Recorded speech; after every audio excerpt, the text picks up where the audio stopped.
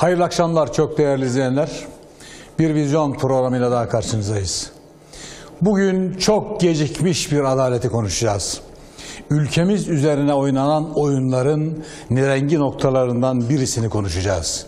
Neredeyse adeta feryatları duyurmayan unutulmuşları konuşacağız. Sivas davasından bahsediyoruz. Sivas davası sanıkları olarak 25 yıla aşkın zamandır içeride yatan, mahkum edilmiş insanları konuşacağız. Davada yaşanılan hukuksuzluklar var. Bu hukuksuzluklar neden bugün tekrar görülmek suretiyle dava önlenemiyor? Ne bekleniliyor? O kadar hazin ve acı hikayeler var ki davanın içerisinde gerçekten dinlediğinizde tüylerinizin diken diken olmaması ve yese kapılmamanız mümkün değil. Değerli izleyenler, Sivas davasının, Sivas olaylarının asıl esasen mağdurları Madımak Otel içerisinde yakılan ya da vurularak öldürülen, dumanda öldürülen insanlardır. Onlar hayatlarını kaybettiler. Ve hemen akabinde Başbağlar köyünde köylüler yani Madımak Oteli'nde hayatını kaybedenler kadar köylülerin katledilmesi suretiyle neler yapılmak isteniyor? Bunları konuşmamız lazım. Ve tüm çıplaklığıyla konuşmamız lazım. Çünkü bu ve buna benzer olayları ülkemiz bir defa yaşayıp geçmiyor. Biz bunu Maraş'ta gördük, Çorum'da gördük, Sivas'ta gördük. Ama bir şey daha gördük ve maalesef. Bugün sol kalemşörler, sol sivil toplum örgütleri Sivas davasının mağdurları olarak içeride yatanların suçsuzluklarını esasen biliyorlar. Ve esasen şunu da biliyorlar ki o davayı gören hakim ve savcılar bugün nerede? Onu da biliyorlar. Biz de onları da konuşacağız. Bugün misafirlerimi takdim etmek istiyorum. Değerli izleyenler ayrıca Sivas davası sanıklarının yakınlarını da ilerleyen saatler içerisinde, ilerleyen dakikalar içerisinde telefonla e, katılmalarını sağlayacağız ve inanılmaz hukuksuzlukları, inanılmaz acı hikayelerini onlardan da dinleyeceğiz ve ne bekliyorlar, beklentiler nelerdir bunları da dinleyeceğiz. Hemen sağ tarafında Mehmet Şahin Bey. Mehmet Şahin Bey hoş geldiniz. Hoş bulduk. Mehmet Bey bir sivil toplum kuruluşunun e, temsilcisi. Neydi sivil toplum kuruluşu? E, Cezaevinde kardeşlerimiz var, çalışma grubu. Cezaevinde kardeşlerimiz var çalışma grubunun temsilcisiniz. Hoş geldiniz. Hoş bulduk. Efendim Cüneyt Toraman Bey, avukat Cüneyt Toraman. Hoş geldiniz Cüneyt Bey. Hoş bulduk, teşekkür Ee, Cüneyt Bey de bu davanın avukatı. Öylesi değil mi? Avukatlarından biri. Avukatlarından birisiniz. Hoş geldiniz. Hoş bulduk, teşekkür Peki e, Cüneyt Bey hanginize birinci sözü verelim? Siz Peki sizden başlayalım. Cüneyt Bey bir defa şu Sivas meselesi nedir? Bu Sivas davası olarak bilinen dava nedir? diye sorsam ne cevap verirsiniz? Buyurun. Şimdi öncelikle e, bu e, siyasi bir olay, siyasi bir e, dava. Bunu sadece Türkiye Cumhuriyeti'ndeki ya da dünyadaki davalardan biri gibi değerlendirirsek e, yanlışa düşmüş oluruz. Yani bir büyüteç altında bu davayı irdeleyebiliriz, inceleyebiliriz. Evet. Ama bu davayı oluşturan şartları, bu olaylar niçin oldu? Asıl buna bakmamız gerekir diye düşünüyorum. Hukukçuyuz. Tabii ki davanın her türlü ayrıntısını sabahlara kadar konuşmaya hazırız. Yani o bir tarafa inşallah kısaca onu da özetleyeceğiz. Ama bence önemli olan bu olaylar niçin oldu? Yani Sivas katliamı niçin, niçin yaşandı? Başbağlar katliamı niçin yaşandı? 1990'lı yıllarda 17 bin faili meçhul niçin yaşandı? Eşref Bitlis niçin öldürüldü? 1990'lı yılların daha başında 1990'da Çetin Emeç, e, Bahriye Üçok, e, işte e, Turan Dursun, Muammer Aksoy. Yani bunlar niçin öldürüldü? Uğur Mumcu niçin öldürüldü? Yani bütün olarak olaylara bütün olarak baktığımızda taşlar yeri yerli yerine oturacak. Olay daha net olarak anlaşılacak. Yani siz e, faili meşhur cinayetlerin de e, bu perspektif Bir bütünün parçası. bir bütün olarak bir bütün, bir paket bu. Ne Yani- paketi bu? Evet. merhum mumcu işte e, ve işte faili meşhur. Pek çok pek çok fail cinayetler, meşhur var. Evet. Ee, bunları aynı yönde değerlendiriyorsunuz. Şimdi bir defa 1989'da komünizm çöktü. Komünizm çöken, çökünceye kadar iki kutuplu bir dünya vardı. Amerika'ya göre ne kadar bir tehdittir bilemiyorum ama komünizm tehlikesi vardı diyordu. Ona göre bir küresel sistem dizayn edilmişti, inşa edilmişti. 1989'da komünizm çöktü. Komünizm çöktükten sonra ilk askeri tatbikatta Amerika yeşil kuvvet, komünizmi temsil eden kırmızı kuvvetlerin yerine yeşil kuvvetleri koydu, İslam'ı koydu. Yani dedi bundan sonra artık dünyada bizim için tehdit İslam'dır. Amerika politikasını değiştirdi. Dünyada bir kırılma noktasıdır. 1989'u daima hatırlamamız lazım. Geçmiştekilerle bugünü kıyaslarsak hep yanılırız. 89'dan öncesine, 89'dan sonrasına bakmamız lazım. Amerika bu politika değişikliğini yaptırdıktan sonra ne oldu? Amerika'nın müttefiki olan ya da sömürgesi olan, himayesinde olan, emrinde olan devletler politikalarını aynen Amerika'ya uyumlu hale getirdiler. 1989'un daha Aralık ayında MİT Müsteşarı Teoman Koman Başbakanlığa bir yazı gönderdi. Dedi ki e, Bahriye Üçok, Turan Dursun, Çetin Emeç ve Muammer Aksoy'a suikast düzenleneceğine dair ihbar, ihbar aldık diyor. Evet. Bu yazı geldikten sonra bak 89'un Aralık ayı. 89'un Aralık ayında bu yazı geliyor. 1990 Ocağın 21'de cinayetler başlıyor. 6 Ekim'e kadar bu dördü de öldürülüyor.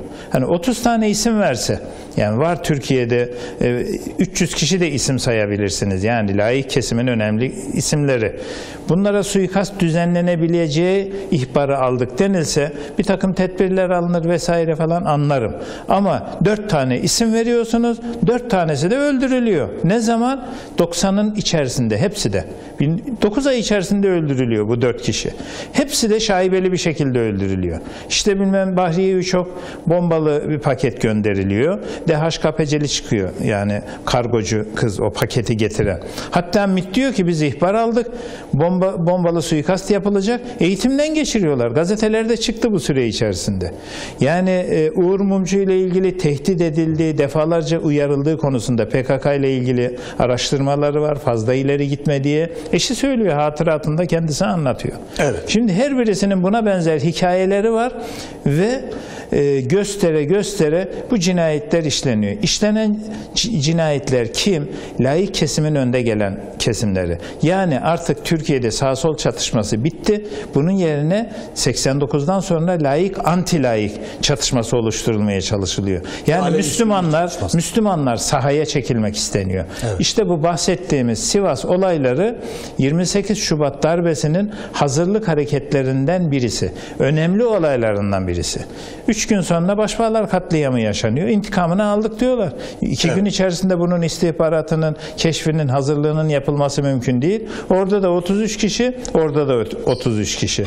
Dolayısıyla bununla bitiyor mu? Bitmiyor. Muhtemelen 1994'te zaten bir darbe planlamışlar. Onu öteliyorlar. Diyorlar ki ya şu Refah Partisi tek başına e, tek başına birinci parti olacak gibi gözüküyor. Bekleyelim. Hükümet kursun. Bilinçli olarak ben kurdurulduğunu düşünüyorum. Kurdur e, Refah Yolu hükümeti kurulduktan sonra e, yani Anavatan Partisi ile de kurulabilirdi.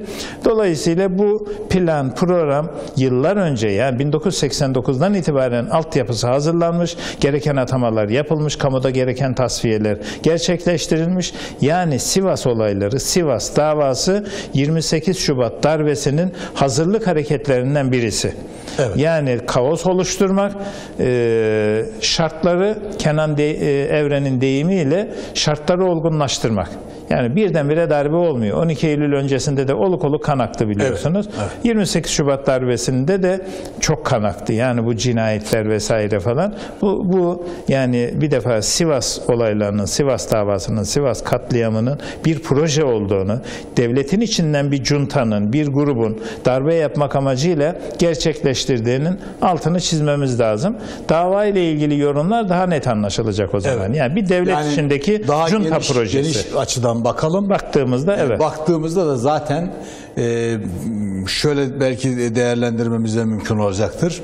Yani bugün girişte söylediğim sol e, kalemşörler, sol sivil toplum örgütlerinin sanki davanın sanıkları yakalanmışçasına rahat bir şekilde geriye yaslanıp beklemelerinin de belki daha geniş bakıldığı zaman e, ne anlama geldiği anlaşılacak. Peki şöyle e, desem size. Burada Sivas davası e, başından beri varsınız değil mi? Cüneyt Varım tabii Varsınız. tabii. Karar verilinceye kadar evet. Ka- Karar Devam. verinceye kadar e, davayı takip ettiniz. Orada e, davayı gören hakimler bugün neredeler? Yani FETÖ de işin içinde mi değil mi? FETÖ'cüler var mı değil mi? Şimdi aslında FETÖ'cüler o süreç içerisinde çırak. Yani diğer e, davalarda da çırak. E, askeri vesayet vardı. Yani kontrol, Ergenekon diyeceğimiz o yapının kontrolündeydi. Ama bunlar da FETÖ'cüler de canla başla yaşı tutanlar, yaşı müsait olanlar o süreç içerisinde çalıştı. Yani 28 Şubat darbesine çok açık destek verdiğini biliyoruz yani FETÖ liderinin. E, dolayısıyla onların 28 Şubat'ta herhangi bir problemleri olmadı. Mağduriyetleri de olmadı. Bir başörtüsüyle ilgili olabilirdi. Teferruatları açın dedi. Onu da öylece çözdüler yani o problemi. E, dolayısıyla yani tam ortasında, tam merkezinde biz bu kadar e, bunlarla müşterek ortaklaşa çalıştıklarını bilmiyorduk ama emniyet amirlerinden birisi mahkeme huzurundaki ifadesinde diyor ki biz diyor e, yıl, Milli Güvenlik Akademisi'nde ders verdik. Türkiye'de dini motifli terör, irticai terör örgütleri konusunda onlara bilgi verdik. Ondan sonra jeton düşüyor bizde. Çünkü 1999 yılında e, Milliyet'te ve Cumhuriyet'te bir haber yayınlanmıştı. Türkiye'de 18 irticai terör örgütü var diye. Ondan sonra bu güya bu terör örgütlerine operasyon başladı. Bu terör örgütleri de Yani kim? o Vahdet iki gazetede hedef gösterildiler. bu hedefi, bu listeyi hazırlayan da bu emniyet amiri öyle gözüküyor. Yani o zaman ben komiserdim diyor ki e, işte Umut operasyonunda da e, etkili yetkili görevli birisi. Dolayısıyla ayırmak mümkün değil. Aslında aynı patronun işçilerini nasıl ayırırsınız? Yani maaşlarını oradan alıyorlar, talimatları oradan alıyorlar, onlara biat ediyorlar. Aynı patrona, Amerika'ya her ikisi de biat ediyor. Yani bunların arasındaki bir şeyi yani iki kardeş e, arasında nasıl bir ayrım yapabilirsiniz? Yani yumurta ikizi hem de. Yani Ergenekon'la FETÖ yumurta ikizi. Sadece toplum anlamasın diye Amerika bunları birbirleriyle vuruşturdu. Vuruşunca da biz de düşman zannettik yani. Şu anda FETÖ'yü en çok kim savunuyor? Bakın televizyonlara, bakın gazetelere, bakın duruşmalara girin takip edin. Şeylerin FETÖ'cü, askerlerin avukatları kim? Bakın. Çok basit bir şey söylüyorum yani. Bakın. Televizyonlara da bakın. Onların mağduriyetlerini kim dile getiriyor? Hangi siyasetçiler dile getiriyor? Bu işbirliği Yani 28 işbirliği Şubat'ta da vardı. Bugün de var, devam ediyor. Evet. Peki Cüneyt Bey, size e, döneceğim ve sizi, sizden e, mahkeme sürecini bir anlatmanızı rica edeceğim. Mehmet Bey, siz e, tabii Sivas davası sanıklarının inanılmaz feryatlarını, figanlarını, hikayelerini program öncesi de daha önceki görüşmemizde de anlatmıştınız. Hem bunu hem de e, Sivas davası mağdurlarının beklentilerini lütfen anlatır mısınız? Buyurun. Evet. Tabii öncelikle herkese hayırlı geceler diliyorum. Ee, şimdi bana birisi kalksa dese ki son çeyrek asırın mazlumları kimdir diye sorsa ben hiç düşünmeden ve tereddüt etmeden Sivas davasında hüküm giymiş mağdurlar derim yani. Çünkü hakikaten birazdan e, Cüneyt e, hocam şeyi hukuki boyutunu anlatacaktır. Nasıl bir hukuk cinayeti işlendiğini, hukukun nasıl katledildiğini anlatacaktır ama başka dramlarda yaşandı bu hadisede. Bir kere şunu söyleyeyim. O şuradan başlayayım. E, inşallah zamanımız yeter bazı şeyleri söylemeye. Bir kere Türkiye'deki kendisini solcu kemalist ve ulusalcı olarak tanımlayan herkesin bir kere kendisini bir sığgaya çekmesi lazım, bir hesaba çekmesi lazım. Şimdi özgürlük diyorlar, demokrasi diyorlar, hukuk diyorlar, eşitlik diyorlar, adalet diyorlar. Doğru, bunların hepsi güzel. Fakat bunları kimin için istedikleri çok önemli. Bunları acaba sırf kendileri için mi istiyorlar, kendileri gibi düşünen insanlar için mi istiyorlar ya da kendi ideolojilerine hizmet eden insanlar için mi istiyorlar ya da herkes için mi istiyorlar? İşte bizimle bu saydığım güruh arasındaki fark bu. Biz özgürlüğü de, hukuku da, adaleti de, eşitliği de herkes için istiyoruz. Neden böyle söylüyorum? Bakın dikkat edin. 90'lı yıllar yani az evvel Cüneyt Hoca'nın da söylediği gibi 90'dan 2000'li yıllara kadar Türkiye'de karanlık bir dönem yaşanmıştır. Faili meçhul cinayetler işlenmiştir. İşte 2 Temmuz 1993 Cuma günü Madımak'ta otel yakılmıştır. 33 tane can hayat e, can e, can gitmiştir. İnsanlar ölmüştür. Ve bu faili meçhul cinayetlerin hemen akabinde ve Madımak hadisesinin hemen akabinde birileri sokaklara dökülüp kahrolsun şeriat diye bağırmıştır. Yani sanki bu işlenen cinayetleri ve Madımak hadisesinin failleri dindar insanlarmış, şeriatı, İslam'ı savunan insanlarmış gibi hemen ama hemen öbür, öbürsü gün daha hani aradan belki iki gün üç gün dahi geçmeden hemen sokaklara dökülüp kahrolsun şeriat diye bağırmışlardır ve hedef göstermişlerdir dindar insanları, Müslüman insanları, Evet. İslami hassasiyet olan insanları. Sivas davası da böyle bir hadisedir. Ben Sivas'a nasıl gelindiğini kısaca bir anlatmak Buyurun. istiyorum. Bir, bir kere Selman Rushdie denilen e, Hint asıllı İngiliz vatandaşı bir adam var ve bu adam Şeytan Ayetleri isimli bir roman yazıyor. Ne zaman yazıyor? 1988 yılında yazıyor. Bu romanı yazıyor bu adam ama ben açık söylüyorum bu romanın yazdığını düşünmüyorum. Yazdırıldığını düşünüyorum. Yani bütün dünyada Yani bir takım bütün dünyadaki Müslümanlar Tabii. infiale ya gelsin. provokasyon yapılıyor. Olaylar Bakın. yapsınlar. Bu adam bu kitabı yazdıktan sonra Fransa'da bu adama devlet ödülü veriliyor bu romanından dolayı. İngiliz kraliçesi şövalyelik nişanı veriyor. Dikkat edin bakın bu romandan dolayı. Peki bu romanda ne var? Bu romanda tamamen Müslümanların değerlerine hakaret var. Tamamen.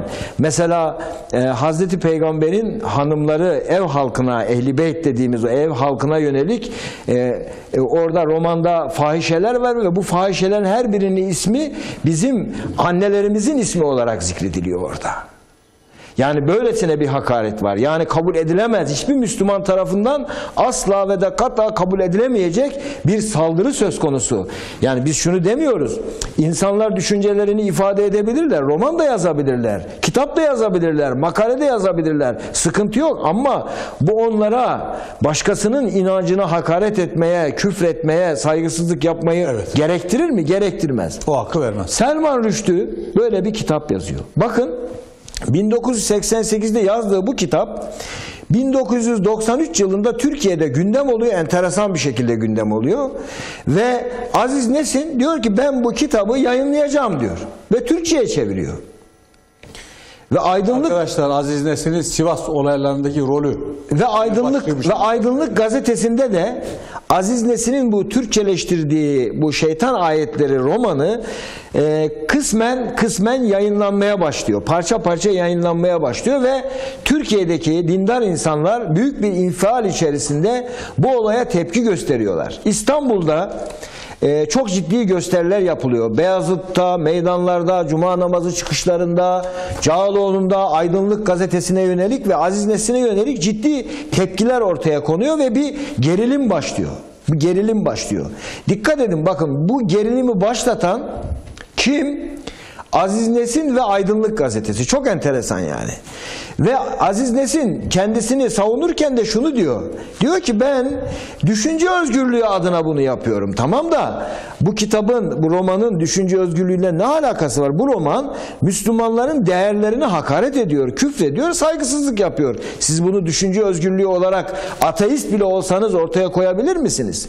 Ve netice itibarıyla Evet 93 yılında böyle bir hadise cereyan ediyor. Türkiye'de bir de bir gerilim yaşanıyor ve hemen iki ay sonra da iki ay sonra da e, Sivas'ta e, Pir Sultan Abdal şenlikleri var.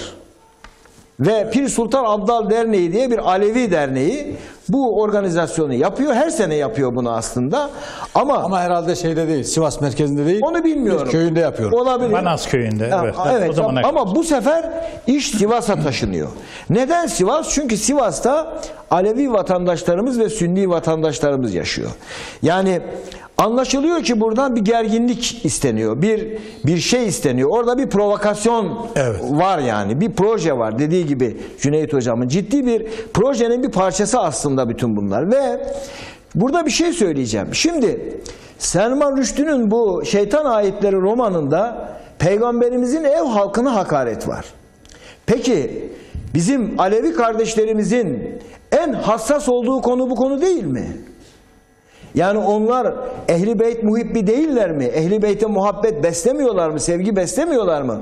Ondan dolayı da kendilerine bu ismi vermemişler mi? Peki nasıl oluyor da nasıl oluyor da birileri Hazreti Peygamber'in hanımlarına, ehli beytine hakaret eden bir kitabı Türkçe'ye çeviren insanı oraya getirebiliyor ve aynı zamanda da orada Aydınlık Gazetesi'nin bu nüshaları yani Evet, şeytan ayetleri. Evet ücretsiz olarak insanlara dağıtılıyor. Ve tabii ki Sivas'taki dindar insanları bu son derece rahatsız ediyor. Ve ondan sonra bir cuma namazı işte 2 Temmuz Cuma günü Cuma namazından sonra Müslümanlar, dindar insanlar tepki gösteriyorlar. Fakat işte provokasyon orada başlıyor. Şimdi burada Evet. arkadaşlar o resmi tekrar girebilirseniz şöyle bir görüntü var. Ee, burada o dönemde Refah Partisi'nin Sivas Belediye Başkanı olan Evet. Temel Karamollaoğlu e, olayları körükledi diyerek bu resim şey yapılıyor. Oysa bu şahıs Başka Temel, biri. Temel Başka biri. Karamollaoğlu değil. Başka biri. Ve bu Ben- şahıs başka- da ayrıca olayların önlenmesi için gayret eden bir şahıs. Evet. Yani Allah gani gani rahmet eylesin bu şahıs vefat etmiş. Ee, bu olay biraz önce mm, Cüneyt Bey söyledi ya yani siyasi yanı da var. Ee, Temel Karamollaoğlu'nun şahsında o dönem Refah Partisi'nin linç edilme işte 28 Şubat'ın hazırlığı dolayısıyla e, bu hakikatte bir ifade edelim dedik. Peki buyurun. Şunu anlatmaya çalışıyorum. Şimdi orada provokasyon başlıyor. Bakın cuma namazı çıkışına kadar her şey normal. Tepkiler normal. İnsanlar doğal olarak tepki gösteriyor. Çünkü niye? Bir de tedbir alınmıyor. değil mi? Peygamberimizin yani peygamberimizin en kutsalımızın tabiri caizse ehli beytine ev halkına hakaret içeren bir şey orada hem de Sivas'ta yapılıyor. Üstelik de bu Alevi vatandaşların sanki organizasyonuymuş gibi yapılıyor. Dolayısıyla Belki insanlar oradaki tepki Alevi gösteriyor. vatandaşlar bu içeriği bilmiyor. Yani Ya ben- aydınlıkta ne yazıyor, bunlar ne konuşuyor Alevi vatandaş Ya bunu bilmiyor. İçeriğini bilseler tepki gösterirlerdi. Çünkü onlar ehli beyt muhibbi insanlar. Evet. Yani onlar peygamberin hanımlarına, peygamberin ev halkına laf söyletmezler ki. Alevi vatandaşlarımızı biz biliyoruz. Onların hassasiyetlerini biz biliyoruz. Daha doğrusu en başta bu romana, bu e, e, tabiri caizse aydınlıkta yayınlanan bu e, bölümlere en fazla tepki göstermesi gereken insanlar zaten Aleviler. Önce onlar tepki göstermesi gerekir. Çünkü onlar ehli beyte bağlı olduklarını söyleyen insanlar. Ama ne gariptir ki Pir Sultan Abdal Derneği ve Pir Sultan Abdal şenliklerinde Aziz Nesin getiriliyor. Orada kitapları imzalatılıyor ve insanların önüne çıkartılıyor. Ve dediğim gibi cuma namazı çıkışında insanlar buna tepki gösteriyorlar ve orada provokasyon başlıyor. Birileri o insan kitlesini alıyor, Madımak Oteli'nin etrafına getiriyor ve orada nerede nasıl başladığı bilinmeyen bir yangın hadisesi cereyan ediyor.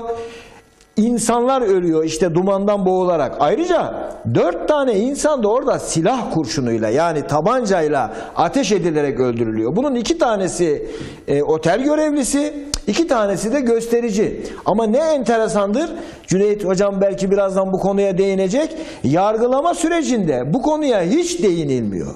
Yani silahla ateş edilerek öldürülen insanlardan hiç bahsedilmiyor. Kim kullandı bu silahları? Bu mermiler hangi silahtan çıktı? Bu silahın tetiğine basan el kime aitti? Bunlar hiç sorgulanmıyor, üstü kapatılıyor. Çok enteresan ve 33 tane bakın altını çize çize söylüyorum. 33 tane e, canın katledilmesine karşın 33 tane masum insan cezaevine atılıyor, tutuklanıyor. Örnek vereceğim. Ayrıca 33 tane insan da başpağlarda Ve katıldı. iki gün, so- üç gün sonra özür dilerim, üç gün sonra da hemen üç gün sonra da Başbağlar'da 33 tane insanımız katlediliyor ve oraya bildiri bırakılıyor. Sivas'ın intikamını aldık diye. Anlatabiliyor muyum? Çok enteresan. Madımak hadisesinde 33 tane masum yakalanıp e, ağırlaştırılmış mı yani idam cezası alıyor ama başbağlarda 33 tane insan katlediliyor bir tane insan bile ceza almıyor sadece hatırladığım kadarıyla 17 yaşındaki bir çocuğa örgüt cezası veriyorlar doğru mudur Cüneyt Hocam? Aynen öyle. Çok enteresan. Bütün bu soruların cevabını bir sormalıyız ve Evet. karşılığını almalıyız. Şimdi ben işte bu solcu, kemalist, ulusalcı geçinen kardeşlerime bunu soruyorum. Diyorum ki siz neden hem Umut davasında olduğu gibi hem bu davada olduğu gibi neden gerçekten bu cinayetleri kim işledi? Bu proje kime ait? Bu provokasyonu, bu provokasyonu kim yaptı? Bunun arkasında kim var? Gerçek katiller kim diye araştırmıyorsunuz da hemen akabinde o dakikadan itibaren Müslümanları, dindar insanları, İslami hassasiyeti olan insanları katil ilan ediyorsunuz ve halen ilan etmeye devam ediyorsunuz. Bakın ben size, bakın bende mektuplar var. Şu mektuplar her birisi yani daha da fazla da ben seçtim işlerinden. Ee, Sivas davasından dolayı 25 yıldır bakın tam 25 yıldır Peki, cezaevinde yatan insanlara ait. tane örnek verin. Sivas'ta ca- e, bağlanacağız. E, Nasıl bir- yakınlarından birisiyle konuşacağız. Tamam nasıl bir mazlumiyet yaşanmış bakın Buyurun. tek bir şeyle anlatıyorum. Ahmet Oflas Sivas davası sanıklarından bana yazdığı mektupta anlatıyor hikayesini. Diyor ki ben esnafım diyor. Dükkanım var diyor. Bu dükkanımın e, hemen yanında diyor bu standlar açılmıştı. Bu Be- Pir beyaz Sultan- eşya satan birisi, Pir Sultan Abdal şenlikleri e, a- etkinlikleri bir standlar açılmıştı ve orada işte Aziz Nesin kitaplarını imzalıyordu. Aydınlık gazete, gazetesi de insanlara dağıtılıyordu. Bir tane e, benim de tanıdığım e, işte sürekli şalvar sarık cübbe gezen bir Müslüman vardı. Bu da Aziz Nesin'le e, ben gidip bu adamdan hesap soracağım diye oraya gidiyor. Polisler de arada bir tartışma çıkmasın diye bu adamı oradan alıyorlar. Bunun dükkanına getiriyorlar. Bunu esnaf olarak tanıdıkları için diyorlar ki ya şu adama sahip çık. Hani bak olay çıkacak filan. Ben de diyor şahsı tanıdığım için adamı aldım dükkanıma sakinleştirdim gönderdim. Ve öbürsü gün de diyor bu hadise cereyan etti. Madımak hadisesi cereyan etti. Ben pazartesi günü yani ayın 5'inde dükkanımı açmaya gittim ve ben hiç gösterilere falan katılmadım. Yürüyüşe falan gitmedim diyor yani. Dükkanımı açmaya gittim. Dükkanımı açtım. Polisler geldi. Dediler ki o gün sana getirdiğimiz adamı tanıyor musun? Ben de diyor açıkça söyleyeyim tanıdığım halde korktum diyor yani. Ve tanımıyorum dedim diyor. Gel bakalım dediler diyor. Karakola götürdüler beni diyor. Ve dediler ki diyor sen bu adamı tanıyorsun. Ya tanımıyorum dedim diyor.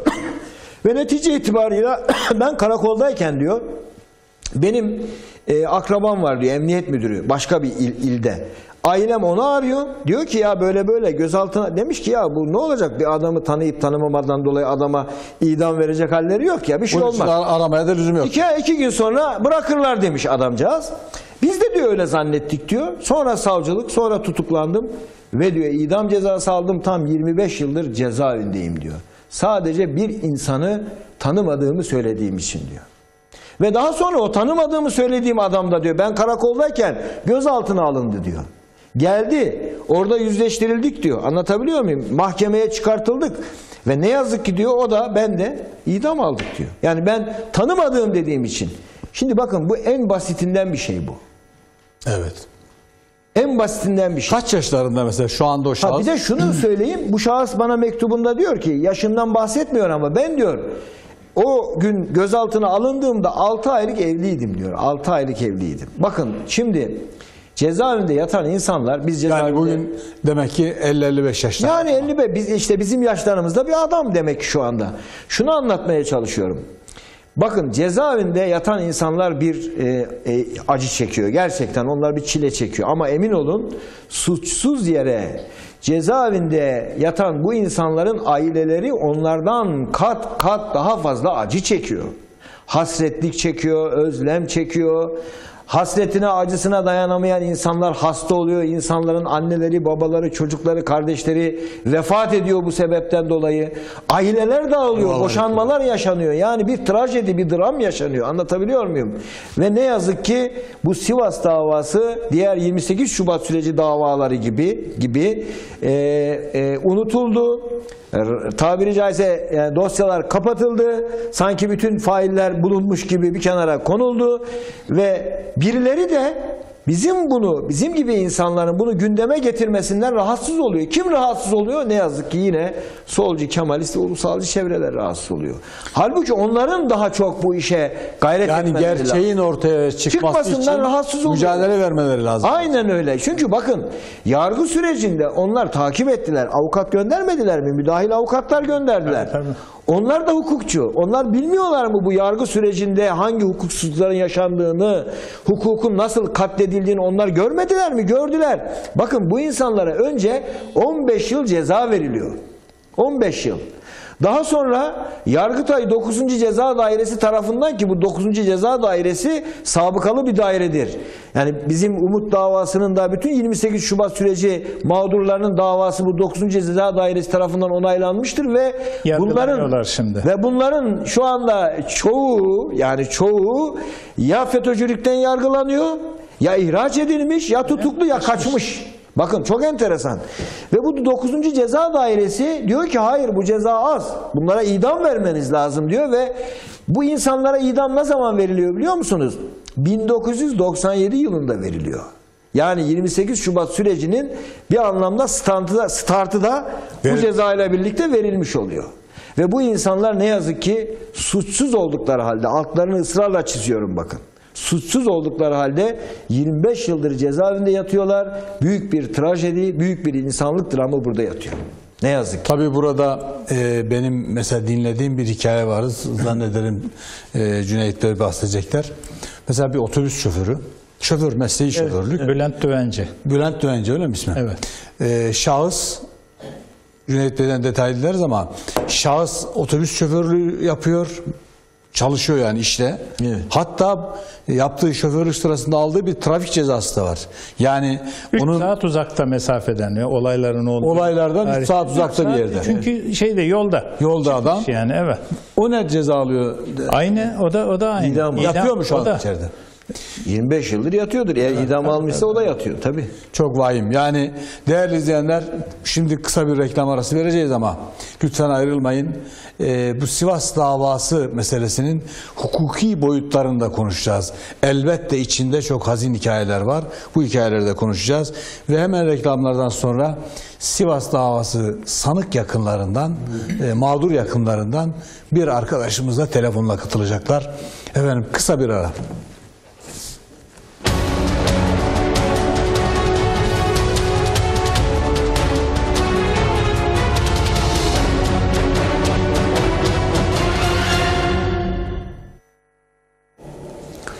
Değerli izleyenler Sivas davası Madımak Oteli yangını diye bilinen davanın sanıklarının mağduriyetlerini konuşmaya devam edeceğiz.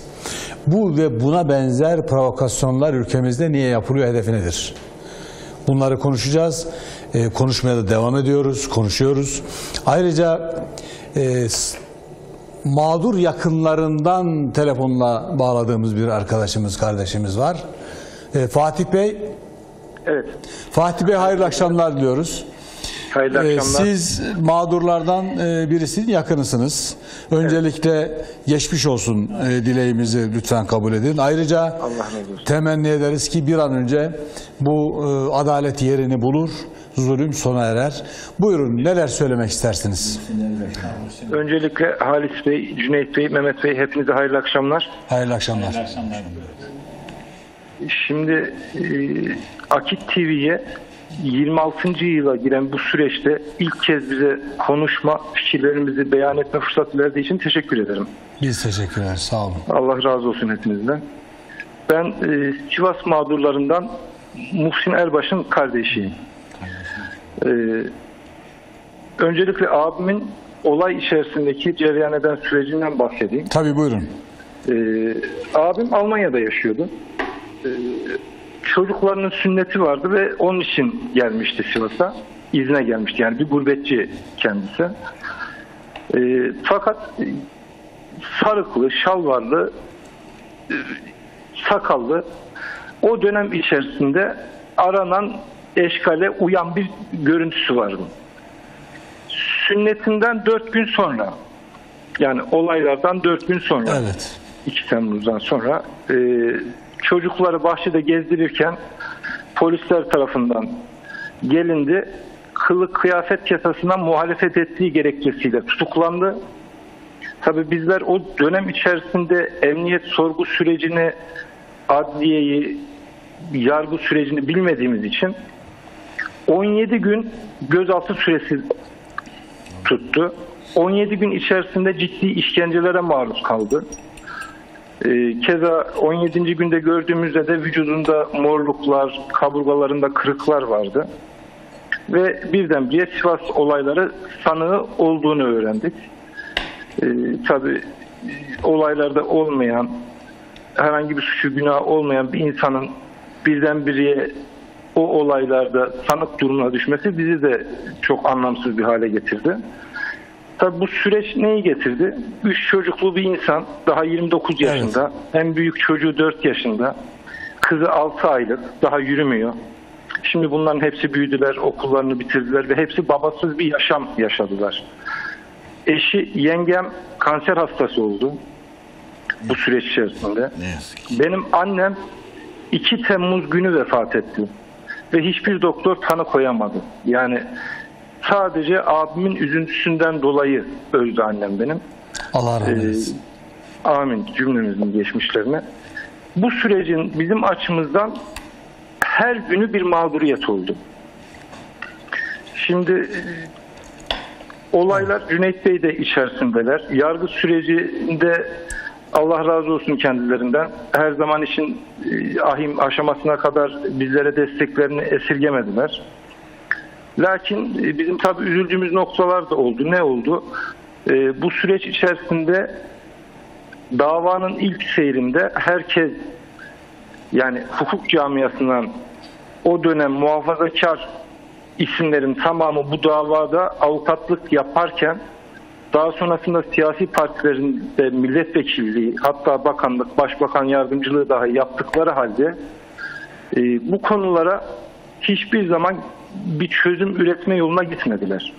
Herkes biliyor bu davanın nasıl seyrettiğini, 28 Şubat sürecinin nasıl oluştuğunu, bu davanın nasıl hukuksuzluğu, e, süreci başlatan olayların bu olduğunu herkes biliyor ama sessiz kalmayı tercih ettiler. E, Evet Fatih işte Bey. az önce Cüneyt Bey belirtti zannedersem. Ee, Refah Partisi döneminin yani o iktidarın yok olmasının başlangıcını Sivas'ta Sivas olaylarıyla yaptılar.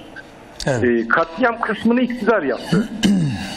Ama e, Sivas halkı Aziz Nesin'e bir tepki verdi. Ceza devletin anayasal düzenini bozmak ve e, yerine yeni bir anayasal düzen getirmek adına 146'ya birden verildi. Halbuki Sivas olayları mağdurlarında hiçbirinde bir tane bıçak yoktu. Mehmet Bey'in bahsettiği Ahmet Oflak arkadaşımdı. Ee, onu da yakinen tanıyorum. O da kesinlikle olaylarla yakından uzaktan alakası yok. Siz bu olaylarda yoktu. kaç yaşlarındaydınız Fatih Bey? Ben lisede okuyordum. 16 yaşındaydım. Ama olaylara birebir Sivas'ta olduğu için Sivas çok büyük bir şehir değil. Olayların seyrinden her noktasından haberimiz var. Tabii daha küçüktük. 16 yaşındaydım. Ee, ama o dönem içerisinde yani e, şu nokta vardı. Ee, Biz de hani zamanlı tecrübeyle olaylara gidip gelerek yani mahkemelere, olaylardan kastım devlet güvenlik mahkemesi süreci bizler için çok zor bir süreçti. Çünkü Evet. e, 124 sanıklı bir davada 8-10 tane e, mahkum yakını anca gidebiliyordu. Çünkü ciddi mahkemelerde bir baskı vardı. İşte on binlerce müşteki taraf geliyordu. E, Mahkeme üzerinde sürekli bir baskı kuruyorlardı. Fakat biz orada sahip çıkılan insanlar olmadığımız için kimse gelmiyordu mahkemeye. Bir saniye şimdi mahkeme safatında Evet. diyorsunuz ki sadece yaşadığımız şeyler hukuksuzluklar değil Bir de e, işin provoke edilmesi ya da Tabii. işte vatandaşın bizim yanımızda e, olmaması, salonlarda bulunmaması. E, dolayısıyla e, biraz önce Mehmet Bey'in de dediği gibi e, laik anti laik e, meselesi haline dönüştürülüp ya da Alevi Sünni çatışması haline dönüştürülüp orada e, mal vurmuş mağlubi gibi oradaki e, tutuklananların üzerine gidilmesinde yalnız kaldık dediniz. Ben de tam bunu soracaktım. Bu süreç içerisinde e, sol yazarlar, düşünürler, sol örgütler ya da Alevi dernekleri tarafından ya biz de sizi de anlıyoruz yani burada bir hukuksuzluk var. Bunun için biz ne yapabiliriz diye bir, herhangi bir şeyle karşılaştınız mı? Aslında mahkeme sürecinde e, bu tarz olaylarla karşılaştık.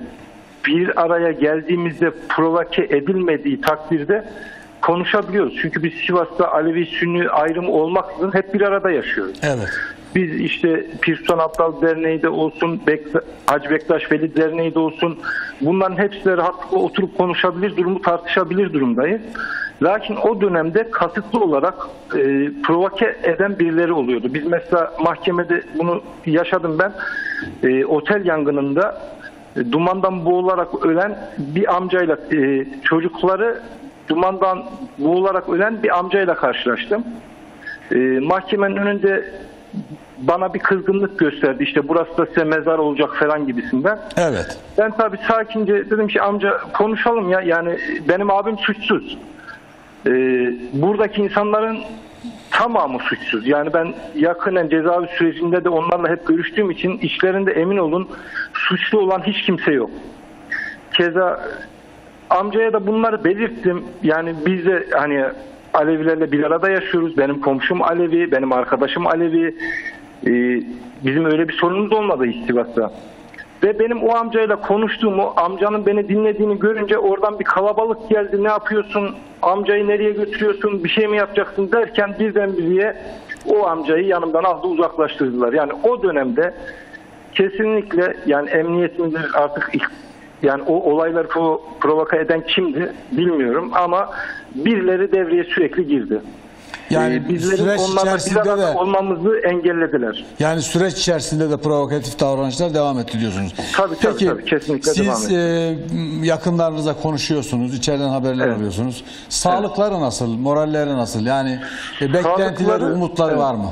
Evet. Şimdi e, umut hiçbir zaman bitmiyor. Her zaman için bir umutları var. Ama e, artık gerçek yaşam olarak orayı kabullenmiş durumdalar. Sivas'ta Ee, mı yatıyorlar dışarı- sanıklar? Yok. Sivas'ta yatıyorlar şu an. Yani diğer illerde de yatanlar var ama benim abim şu an Sivas'ta. Hı, Evet. Ee, yani Afyon, Kırşehir süreci oldu. Ondan sonrasında Sivas'a geldiler. Şu an 10 tane mahkum var Sivas'ta yatan. Diğerlerinin tamamı Türkiye'nin her yerine dağıtılmış durumdalar. Ee, sağlık problemleri var. Yani artık kronik cezaevi rahatsızlıklar denilen böbrek yetmezliği, astım, e, bu rahatsızlıkların hepsi mevcut. Bütün mahkumlarda mevcut. Çünkü 25 yıl e, Cumhuriyet tarihinde yatan, evet az bir zaman değil ve yatan başka mahkum yok. E, cezaevi şartları çok kötü. Yani bunların hiçbiri e, Abdullah Öcalan'a sağlanan bir İmralı'daki saltanatın binde birine sahip olmadılar. E, bunlar vatanını, milletini seven, dinine bağlı insanlar ama her zaman cezaevi ortamında bunun zulmüyle karşılaştılar. Evet. E, Peki Fatih Bey, buyurun, buyurun. son cümlenizi tamamlayın. Ee, Tamam. arkadaşlarımıza devam edelim konuşmamıza. Son sözlerinizi buyurun. Ne söylemek istersiniz? son sözlerim bu davada suçlu Ne aranıyorsa istiyorsunuz, ne bekliyorsunuz? Biz ben şuna inanıyorum. Sayın Cumhurbaşkanımızın bu süreçte e, gerçek olaylar konusunda bilgilendirildiğini düşünmüyorum açıkçası. Keza bu sürece Cumhurbaşkanı'nın çözüm olabileceğini ki Abdullah Gül çünkü Devlet Denetleme Kurulu'nu göreve çağırdığında gelindi, araştırıldı ve gerçekten o dönemin iktidarının güvenlik görevlilerinin ciddi ihmali olduğu ortaya çıktı. Ee, Evet. ama bir yargı sürecine taşınamadı bu. Sayın Cumhurbaşkanımız Recep Tayyip Erdoğan Müslümanlara, dünya Müslümanlarına sahip çıkan ve adaletli davranan birisi. Bu davada da adaletli davranabilmesi gerektiğini düşünüyorum. Bunun ona izah edilmesi gerektiğini, onun da bir şekilde bu davada sonuca götürecek tek kişi olduğunu düşünüyorum. İnşallah e, bu noktada yardımlarını esirgemez. Peki. Ben bunları söyleyebiliyorum. Peki büyük geçmiş olsun. Umulur Çok ki e, adalet yerini bulur ve bu İnşallah. zulüm bu zulüm e, sona erdirilir. Çünkü İnşallah. hayatı elinden alınan, hayatı çalınan e, bir yığın insan var. Yuvası perişan edilen, çocukları perişan edilen bir sürü insan var ve maalesef elini kolunu sallayarak bu işin e, gerçek sorumluları geziyorlar. Peki Fatih Bey çok teşekkür ediyoruz. Ben teşekkür ederim. Ee, hayırlı akşamlar. Hayırlı akşamlar diyoruz. Peki e, Cüneyt Bey, e, Fatih Bey'i dinledik. Gerçekten e, çok ilginç. Yani e, bir insan işte Avrupa'da çalışan bir e, işçi geliyor. Kılığı kıyafeti nedeniyle evet bu davanın sanığı haline Evet, getirdi. sanı haline geliyor. Önce kılık kıyafet diyorlar, sonra içeriye giriyor ve 25-26. yıla giriyor ve yatıyor. Peki arzu ederseniz e, hukuksuzluklarla ilgili. Yani davanın hukuki yapısı nedir? Nereye doğru gidiyor? Bir de e, Fatih Bey'in e, sanıyorum ki sadece bu beklenti kendisinin dile getirdiği bir beklenti değil. İçerideki e, kadre uğramış, zulme uğramış diğer e, şahısların da tamamının Sayın Cumhurbaşkanı'ndan beklediği bir adalet olsa gerek. Buyurun. Hatta diğer davalardaki sanıklarında tutuklu, hükümlü Tabii sanıklarında 28 Şubat'la ilgili de e, pek çok çok sayıda 600'e yakın e, tutuklu e, insan var. Şimdi ben e, Fatih Bey'e de hayırlı akşamlar diliyorum.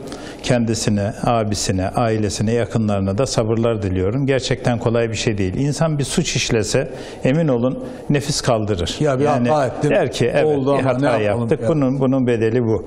Ama haksız yere insanın insanın hapis yatması hem de 25 yıldan bahsediyoruz. Yani 25 yıl hapis yatması. Ben bir hukukçuyum. Ben avukatım ve cinayeti gördüm. O duruşma salonlarında cinayeti gördüm. Bu cinayeti, hukuk cinayetini gördükten sonra susmam mümkün değildi. Ben o günden bugüne kadar konuşuyorum. Hiç yani e, bu konu gündeme geldiğinde e, konuşmam demedim. Neticesinde düşünmedim. Birileri hoşlanır, hoşlanmaz vesaire falan. Çünkü burada çok açık, net bir haksızlık var. Ve eğer yeniden yargılanma söz konusu olursa, bu dosyanın kapağı açılırsa her şey ayan beyan gözükecek.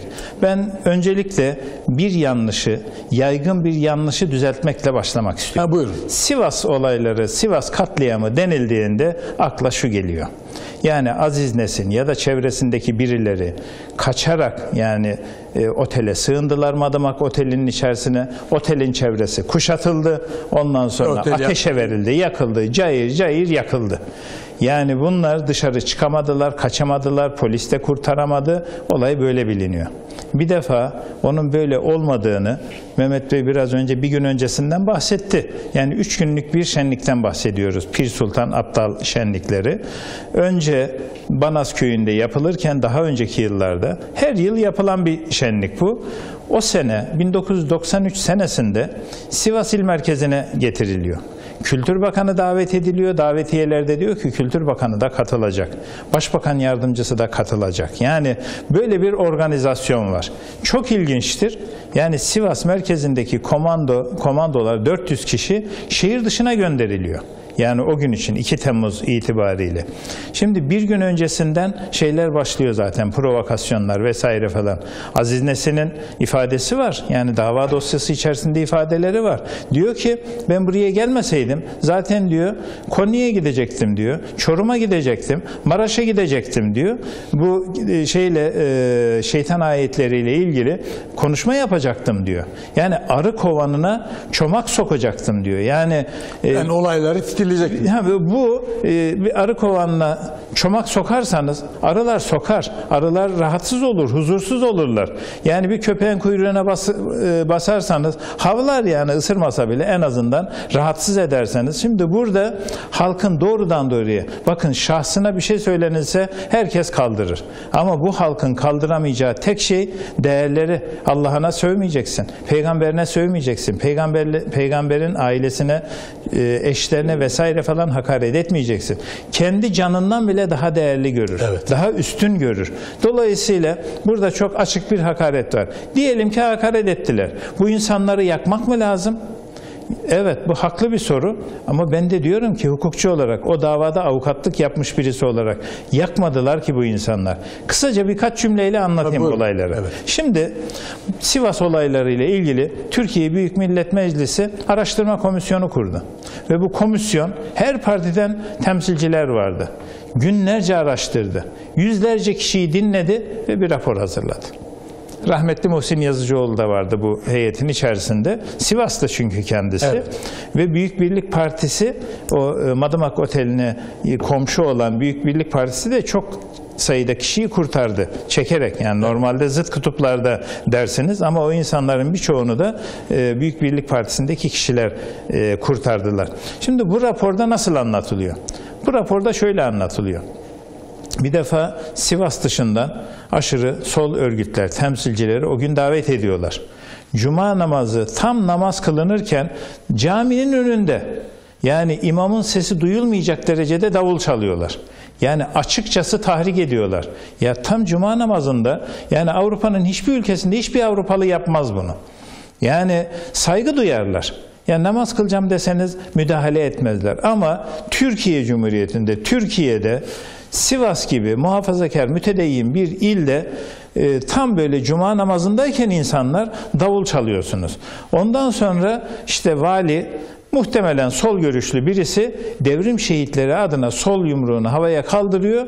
O devrim andına katılıyor diğer sol örgütlerle birlikte. Bu da duyuluyor. Yani halk valinin bu tavrını protesto Sivas için dava arkadaşlarımız şeyde değiştirebilirler.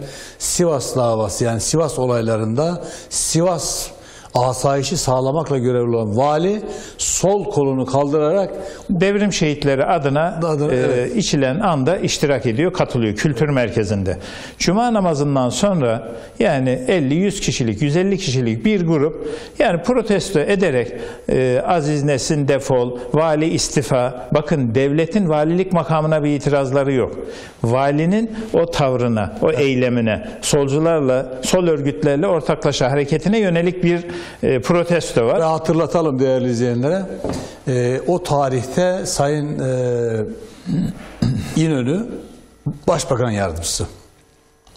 Ve İçişleri Bakanı da Cumhuriyet Halk Partisi'nden. Evet. Evet. Buyurun devam edin. Şimdi e, o e, protesto devam ederken polisler de o kortejin, o kalabalığın 300-400 kişiye ulaşıyor, 500 kişiye ulaşıyor. Sağından solundan onlar da yürüyor. Bir taşkınlık yok, bir yere bir saldırı yok. Kültür merkezinin önüne gidiyorlar. Kültür merkezinin önünden tekrar işte otelin oraya, otelde kalıyorlar Madımak Oteli'nde. Oradan tekrar yani bir üçgen valiliğin önüne gidiyorlar. Vali istifa diyorlar. Vali diyorlar kültür merkezine gitti. Kültür merkezinin önüne gidiyorlar. Orada vali istifa diye şey yapıyorlar. Ve bu kalabalık gider gelirken yani emin olun Evet. küçük bir şeyle 10-15 kişilik polis grubu bunların tamamını dağıtabilirdi. Yani izleniyor. Hiç müdahale edilmiyor. Çok bilinçli bir tezgah var burada ve kalabalıklaşması bekleniyor. Tabii gittikçe kalabalıklaşıyor. Gittikçe kalabalıklaşıyor olay. E, otelin önünde yani protestolar yoğunlaşıyor. Çünkü Evet. e, otele girdiği söyleniyor. Yani Aziz Nesin'in otelin içerisine girmeye yönelik herhangi bir şey yok. Otelin içindekiler yan caddeden, yan sokaktan gidiyorlar dışarıya, işlerini hallediyorlar, tekrar otele giriyorlar. Bu süreç içerisinde e, başbakan yardımcısıyla görüşüyorlar. Yani diyorlar ki tamam biz güvenliğinizi sağlayacağız. Evet bir problem yok. Ayrılmayın diyorlar. Yani oradan ayrılmayın diyorlar. Şimdi ben bu, bu tezgahı, bu provokasyonu hazırlayanların ölümler olabileceğini ya da ölümler olmasını istediğini zannetmiyorum. Çünkü e, burada bir karışıklık, kaos yaratmak, dava vesaire falan açıp tabii ki bir irtica tehdidi, tehlikesi vesaire falan diye kullanmak istiyorlar ama inan inanılmaz bir şey oluyor. Yani bir ark oluşuyor. E, perdeleri tutuşturulunca e, otelin içerisinde yoğun bir e, duman bulutu ve dumandan boğularak ölüyor oradaki insanlar. Yani bütün otopsi raporları dosyanın içerisinde Mehmet var. Bey'in bahsettiği e, silahla e, öldürme hadisesiyle ilgili. Öldürme öldürme hadisesi. Şimdi biz e, bu bu süreç içerisinde tabi protestolar var. Sadece protesto var. Yani bunun cezası da bir yıl zaten. Yani e, daha sonra anlaşılıyor ki bu protestolar sırasında otelin e, işte e, perdeleri vesaire falan yakılınca yayılıyor. Oradaki eşyalar yanıyor. O e, duman üst katlara sirayet ediyor. Kaçabilecek bir yerleri de yok ve e, 33 kişi ölüyor. Yani dumandan boğularak ölüyor. Bu olay daha sonra öğreniliyor. İnsan öğrenildi. Yani insan öldü. E, ilk başta anlaşılmıyor. Ve e, bu şeyden sonra yani yangın çıktıktan kısa bir süre sonra e, polis iki el e, havaya ateş ediyor ve kalabalık dağılıyor. Bir kişi bile kalmıyor. Ne otelin önünde ne sokaklarda ne meydanlarda. Düşünün bir olay var. Otelin içerisinde dumandan boğulan 33 kişi var. Artı iki tane otel görevlisinin ateşli silahla tabancayla vurulduğu tespit ediliyor. Dışarıdan da iki kişinin yine öldürüldüğü tespit ediliyor ve fail lazım. Bakın fail yok. Hani suçüstü. Hani Yakalanmış 15 Temmuz yok. darbe teşebbüsünde Boğaz Köprüsü'nün önünden, arkasından, Anadolu yakasından, Avrupa yakasından paketlendi, götürüldü ve bu insanlar suçüstü yakalandı ya da başka yerlerde buna benzer suçüstü hali uygulandı. Şimdi böyle vahim bir olay var. 33 4'te silahlı vurulanlar, bu kadar kişi var ve tek bir fail yok. Fail lazım. Şimdi bir davada adil bir yargılama yapılabilmesi için üç tane ana unsur lazım. Bakın, birincisi doğru kişileri yargılayacaksın. Bu olayın faili kim? Bunu bulacaksın. Evet. Eğer bu olayla alakası olmayan birisini yargılamaya başlarsan hani düğmeyi iliklediğiniz zaman birinci düğme yanlış iliklenirse ondan sonrasına bakmaya gerek yok zaten. Şöyle bir iddia var. Evet. Sözünü tamamlayın ama yani birinci madde olarak saydığınız içinde olduğu için sormak istiyorum. Şöyle bir iddia deniliyor ki bu sanıkların pek çoğu yani şu anda ceza almış bu suçsuz insanlar şöyle bir metotla yakalandı. Ee, Sivas'ın meydanında bir tahtaya tanınan, bilinen isimler kim gördüm diyorsa gelsin oraya ismini yazsın.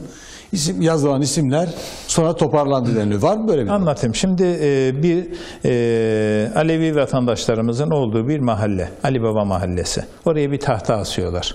Bu tahtaya diyorlar ki gördükleriniz, bildikleriniz, bunlara katılmış olabilecek birileri varsa bu tahtaya yazın diyorlar. Bunlar da Sivas'ın içerisinde. İslamcı kimliğiyle tanınan kişileri bu tahtaya yazıyorlar. Ama Bunlar hepsi gördükleri için bunlar olabilir diyorlar. Yani böyle doğrudan doğruya görgüye dayalı bir olay yok. Bakın bu davanın sanıkları nasıl, nasıl tespit edildi? Yani o zaman o maddeleri birer birer altını doldurup açıklayarak Tabii, geçelim buyurun. öbürüne. Bir defa e, ertesi gün Cumhuriyet Gazetesi'nde bir liste yayınlandı. Aydınlık Gazetesi'nde de bir liste yayınlandı. 17 kişilik, 18 kişilik bir liste yayınlandı. O kişilerin o tamamı gözaltına alındı ve tutuklandı. Aydınlık gazetesinde isimleri yazılı olan kişilerin tamamı gözaltına alındı, tutuklandı. Gözaltına alınma tarihlerine bakın. Cumhuriyet gazetesinde isimleri yayınlanan e, hangi gazetede e, hangi tarihte yayınlandığına bakın. Bir sonraki gün bir daha isimler yayınlandı. O gün de onlar tutuklandı. Ertesi gün bir daha isimler yayınlandı. Onlar da tutuklandı. Yani Cumhuriyet gazetesi savcı mı? Aydınlık gazetesi savcı mı? Neye göre tespit etti bunları? Orada hangi isim yazmışsa dava dosyasını açın bakın aynı kişiler bu davanın sanığı haline geldi. Yani bu davanın ve benim müvekkilim Pes yani Halil İbrahim Düzbiçer itfaiye eri oteli yakmakla suçlanıyor. diyor ki ben izinliydim o gün diyor. Bizi daha geldiler e, itfaiyeye ihtiyaç var bu yangın nedeniyle. Ben e, yangından sonra çağrıldım diyor. O kalabalığı yararak diyor itfaiyenin oraya ulaşmaya çalıştım diyor. Ve bu davanın sanığı haline geldi. O sırada birisi taş attı diyor. Taş atanlar oldu herhalde. Kafasından yaralanmış. Hastaneye kaldırılmış. Hastanede protokol kayıtları var. Delil olarak mahkemeye sunduk. Dedik ki ya bu yangın e, daha yangının başlarında e, bu adam hastaneye katılmış. Ya bu adamın evveliyatında vesaire falan arkadaşlarını da tanık gösterdi. Gönderdik. Dedik ki yani bu bu şeyler e, arkadaşları bunun burada olmadığını, görev emri nedeniyle daha sonradan yangından sonra ancak buraya davet edildiğinin e, tanık olarak şey yapacak, ifade edecekler dedik. Bizim tanık olarak verdiğimiz isimler aleyhine daha dinlenmeden yalancı tanıklıktan dolayı dava açıldı. Ya eğer gerçekten yalan beyanda bulunursan bu suçtur. Ama daha yapmadı ki tanıklığı. Bir yapsın. Hastane kayıtlarından bahsettik. Celbini istedik.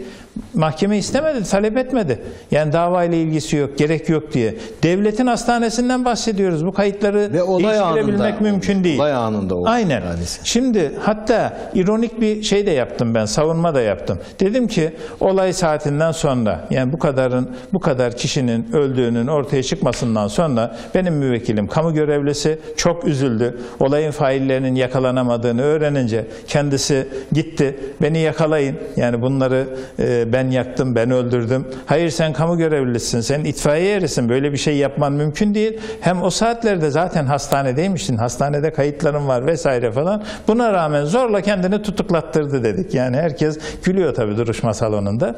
Dolayısıyla sokakta gezerken bakıyorlar. Şimdi bakın fail lazım. Olaya fail lazım önce tipine bakıyorlar. Diyorlar ki hani biraz önce e, Fatih Bey bahsetti. Yani o tipte olsa olsa bunlar olabilir. Yani bir, bir irticai, bir sembol, sarık, cübbe vesaire falan bugün de suç değil. İnsanlar istediği kıyafeti giyebil- giyebilir. Yani kıyafetten dolayı insanları suçlayamazsınız. Ama sadece kıyafetinden dolayı, sakalından dolayı sanığı olan insanlar var. Birisi diyor ki yani Ali Baba tahtasında ismi var. Diyor ki e, ben diyor Ankara'da oğlumun e, diploma törenindeydim diyor. Fotoğraflarımız var diyor. Yani Ankara nere, Sivas nere? Mümkün değil. Aynı gün Ankara'da ve bu adam bu davanın sanığı olarak yargılandı, mahkum edildi. Bülent Dövenci 3 saat mesafede şehirden çıkmış otobüs şoförü. Yani 30 küsür tane tanığı var yani bu otobüsün içerisinde. Bunları tanık olarak mahkeme dinlemedi. Evet. Buna çok önemli şeyler anlatıyorsunuz. Gerçekten yani e, adalet zalimlere de lazım olur. Sözünü hatırlatmadan geçemeyeceğiz. Değerli izleyenler, e, bir mazlum, bir mağdur yakını daha e, telefonda. Feyzullah Soykök. Feyzullah Bey hayırlı akşamlar. Hayırlı akşamlar. Ee, öncelikle hepinize hayırlı akşamlar diliyorum. Sağ olasınız. Akit TV'ye, Akit ailesine yıllardır e, Türkiye'nin çok sıkıntılı olduğu dönemlerde bedel ödemek pahasına mazlumların, mağdurların yanında olduğu için çok teşekkür ediyoruz. Allah sizlerden razı olsun. Sağ olun. Ee, bu olayla alakalı e, Evet. avukatımızın da bahsettiği gibi ölen insanların kurşun yarasıyla öldüğünü iddia eden e, o dönemde hastanede çalışan Sivaslı personeller var. Evet. Ee, bununla alakalı zaten Arif Sağ'ın e, silahla alakalı Sivas Gazeteciler Cemiyet Başkanı Fikret Ünsal bu konunun çok üzerine düştü. Allah razı olsun. Bu konuyla alakalı da maddi manevi bedeller ödedi. Şöyle bir durum var. Sivas halkı e, bu konuya sahip çıkmıyor. O dönemde e, olayın vuku bulduğu dönemde orada 15-20 bin tane insan var. Bu olayların bedelini e, 35-36 tane Müslüman ödüyor. Bu konu Sivas halkının ortak sorunudur. Orada kimse, e, Müslümanlar hiç kimseyi yakmadı. Peygamber Efendimiz'e hakaret eden e, insan diyemiyorum ona. Onu protestoya gittiler, doğru. Yürüyüş kanununa muhalefetten önce e, ceza aldılar. Cezaya itiraz edildi. Yargıtay sürecinde siyasi kararlarla idam cezası verildi. Bir dakika. Hani bir tiyatro- Önce önce nasıl oldu dediniz? Önce gösteri yürüyüşlerine muhalefetten Evet, yargılandılar. muhal- muhalefetten yargılandılar. Evet. Daha sonrasında Yargıtay'da olay aleyhte bozuldu. Siyasi kararlarla o dönemki e, Sabih Kanadoğlu, Yargıtay'ın onursal başkanı, dosyayı dilediği gibi İzmir, Ankara DGM'lerinde dolaştırdı. Sivas'a en yakın DGM mahkemesi Kayseri'de olmasına rağmen e, bu konunun üzerinde rahat çalışabilmeleri için diledikleri yere götürdüler bu dosyaları. Evet. Mahkemenin içerisinde babamla alakalı e, babamın orada olduğunu Sizin babanız mı içeride? bir- Evet. Sivas sanıklarından Cafer Tayyar Soykkök'ün oğluyum. Babam cezaevine girdiğinde 5 yaşındaydım. Şu an 30 yaşındayım. Ee, babamı tesis etmek isteyen insan ee, mahkeme salonunda farklı bir insanı gösteriyor. Buna rağmen babam idam cezası aldı. Ee, artık 25-26 sene oldu. Müslümanların bu konulara sahip çıkması lazım. Televizyonlarda 28 Şubat e, mağduriyetleri konuşulurken sürekli başörtüsü ve e, o dönemki işte e, işini kaybeden insanlar, e, ticareti ters giden insanlar konuşuluyor. Allah'a çok şükür ki bu bu dönemde bu insanlar fazlasıyla e, şeyini aldılar bunun, e, mükafatını aldılar, iade itibarlarını aldılar e, başörtüsüyle elhamdülillah analarımız, bacılarımız, kardeşlerimiz dilediği gibi dilediği kamu kurum kuruluşlarında görev alabiliyorlar. Ama bu olayla alakalı bedel ödeyen şu an Türkiye e, cezaevlerinde 650 tane Müslüman var. Bunlardan 36 tanesi Sivas olayları davasından yatıyor. Evet. Ee, artık 28 Şubat'ın bir darbe olduğu e, kesin ortadayken bunun mağduriyetinden dolayı cezaevinde yatan veya yurt dışında olup şu anda Türkiye'ye gelemeyen insanlarımız var. Bu insanların dosyalarının tekrardan açılması ve adil bir şekilde yargılanmalarını talep ediyoruz biz. Evet. Bununla, e, bununla alakalı bir e, inşallah bir çalışma yapılır. Bir şeyler olur da inşallah. Peki Çünkü- sizlerin bir girişimleriniz var mı?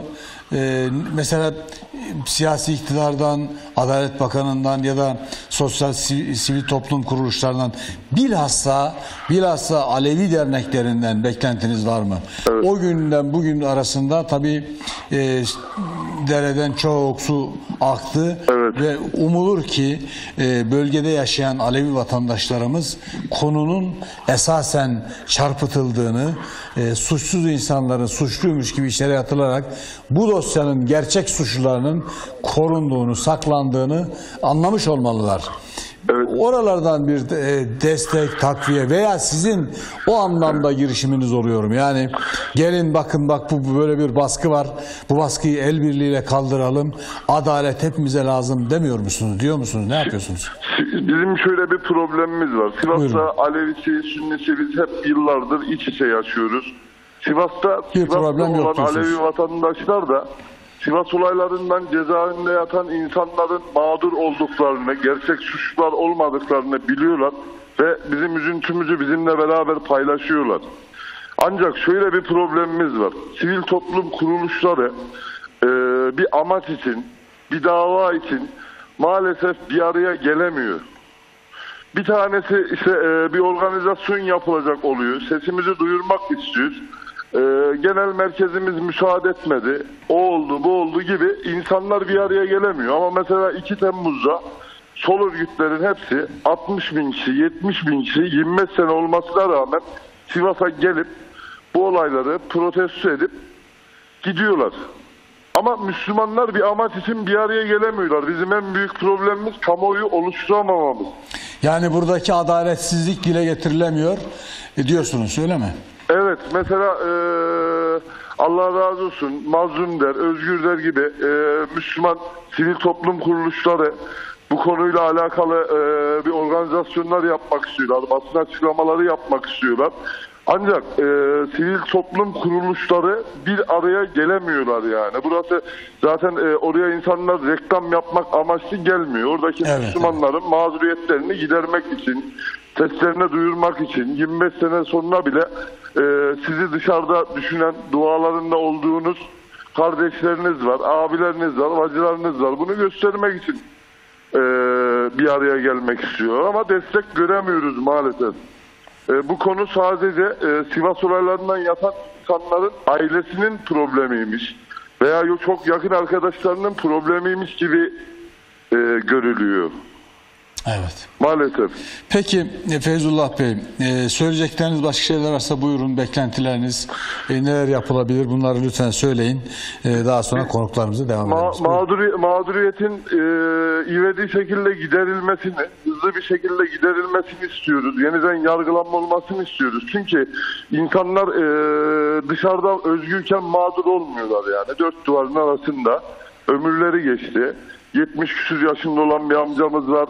Babam 62 yaşına geldi. Girdiğin, cezaevine girdiğinde 38 yaşındaydı. Fatih abinin, Fatih Erbaş'ın bahsettiği gibi e, artık hastalıklar falan başlamaya başladı. Bu insanlar artık hani e, ömrünün geri kalan kısmını en azından özgür bir şekilde aileleriyle, torunlarıyla, torunlarıyla geçirsinler istiyoruz. Allah'a hamdolsun inançlarından dolayı dirayetliler. Elhamdülillah işte ibadetlerini yapıyorlar. Cezaevi imkanları dahilinde e, İslami yaşantılarını yaşamaya çalışıyorlar. Bir de şöyle bir durum var. E, bu FETÖ olaylarından sonra cezaevine e, dergilerinin gitmesinde, dışarıdaki e, şeyleri takip etmelerinde falan kısıtlamalar oldu. Siyasi şekilde cezaevinde yattıkları için e, PKK'ya, FETÖ'ye uygulanan e, yaptırımların tamamından oradaki Müslümanlar da nasibini alıyor.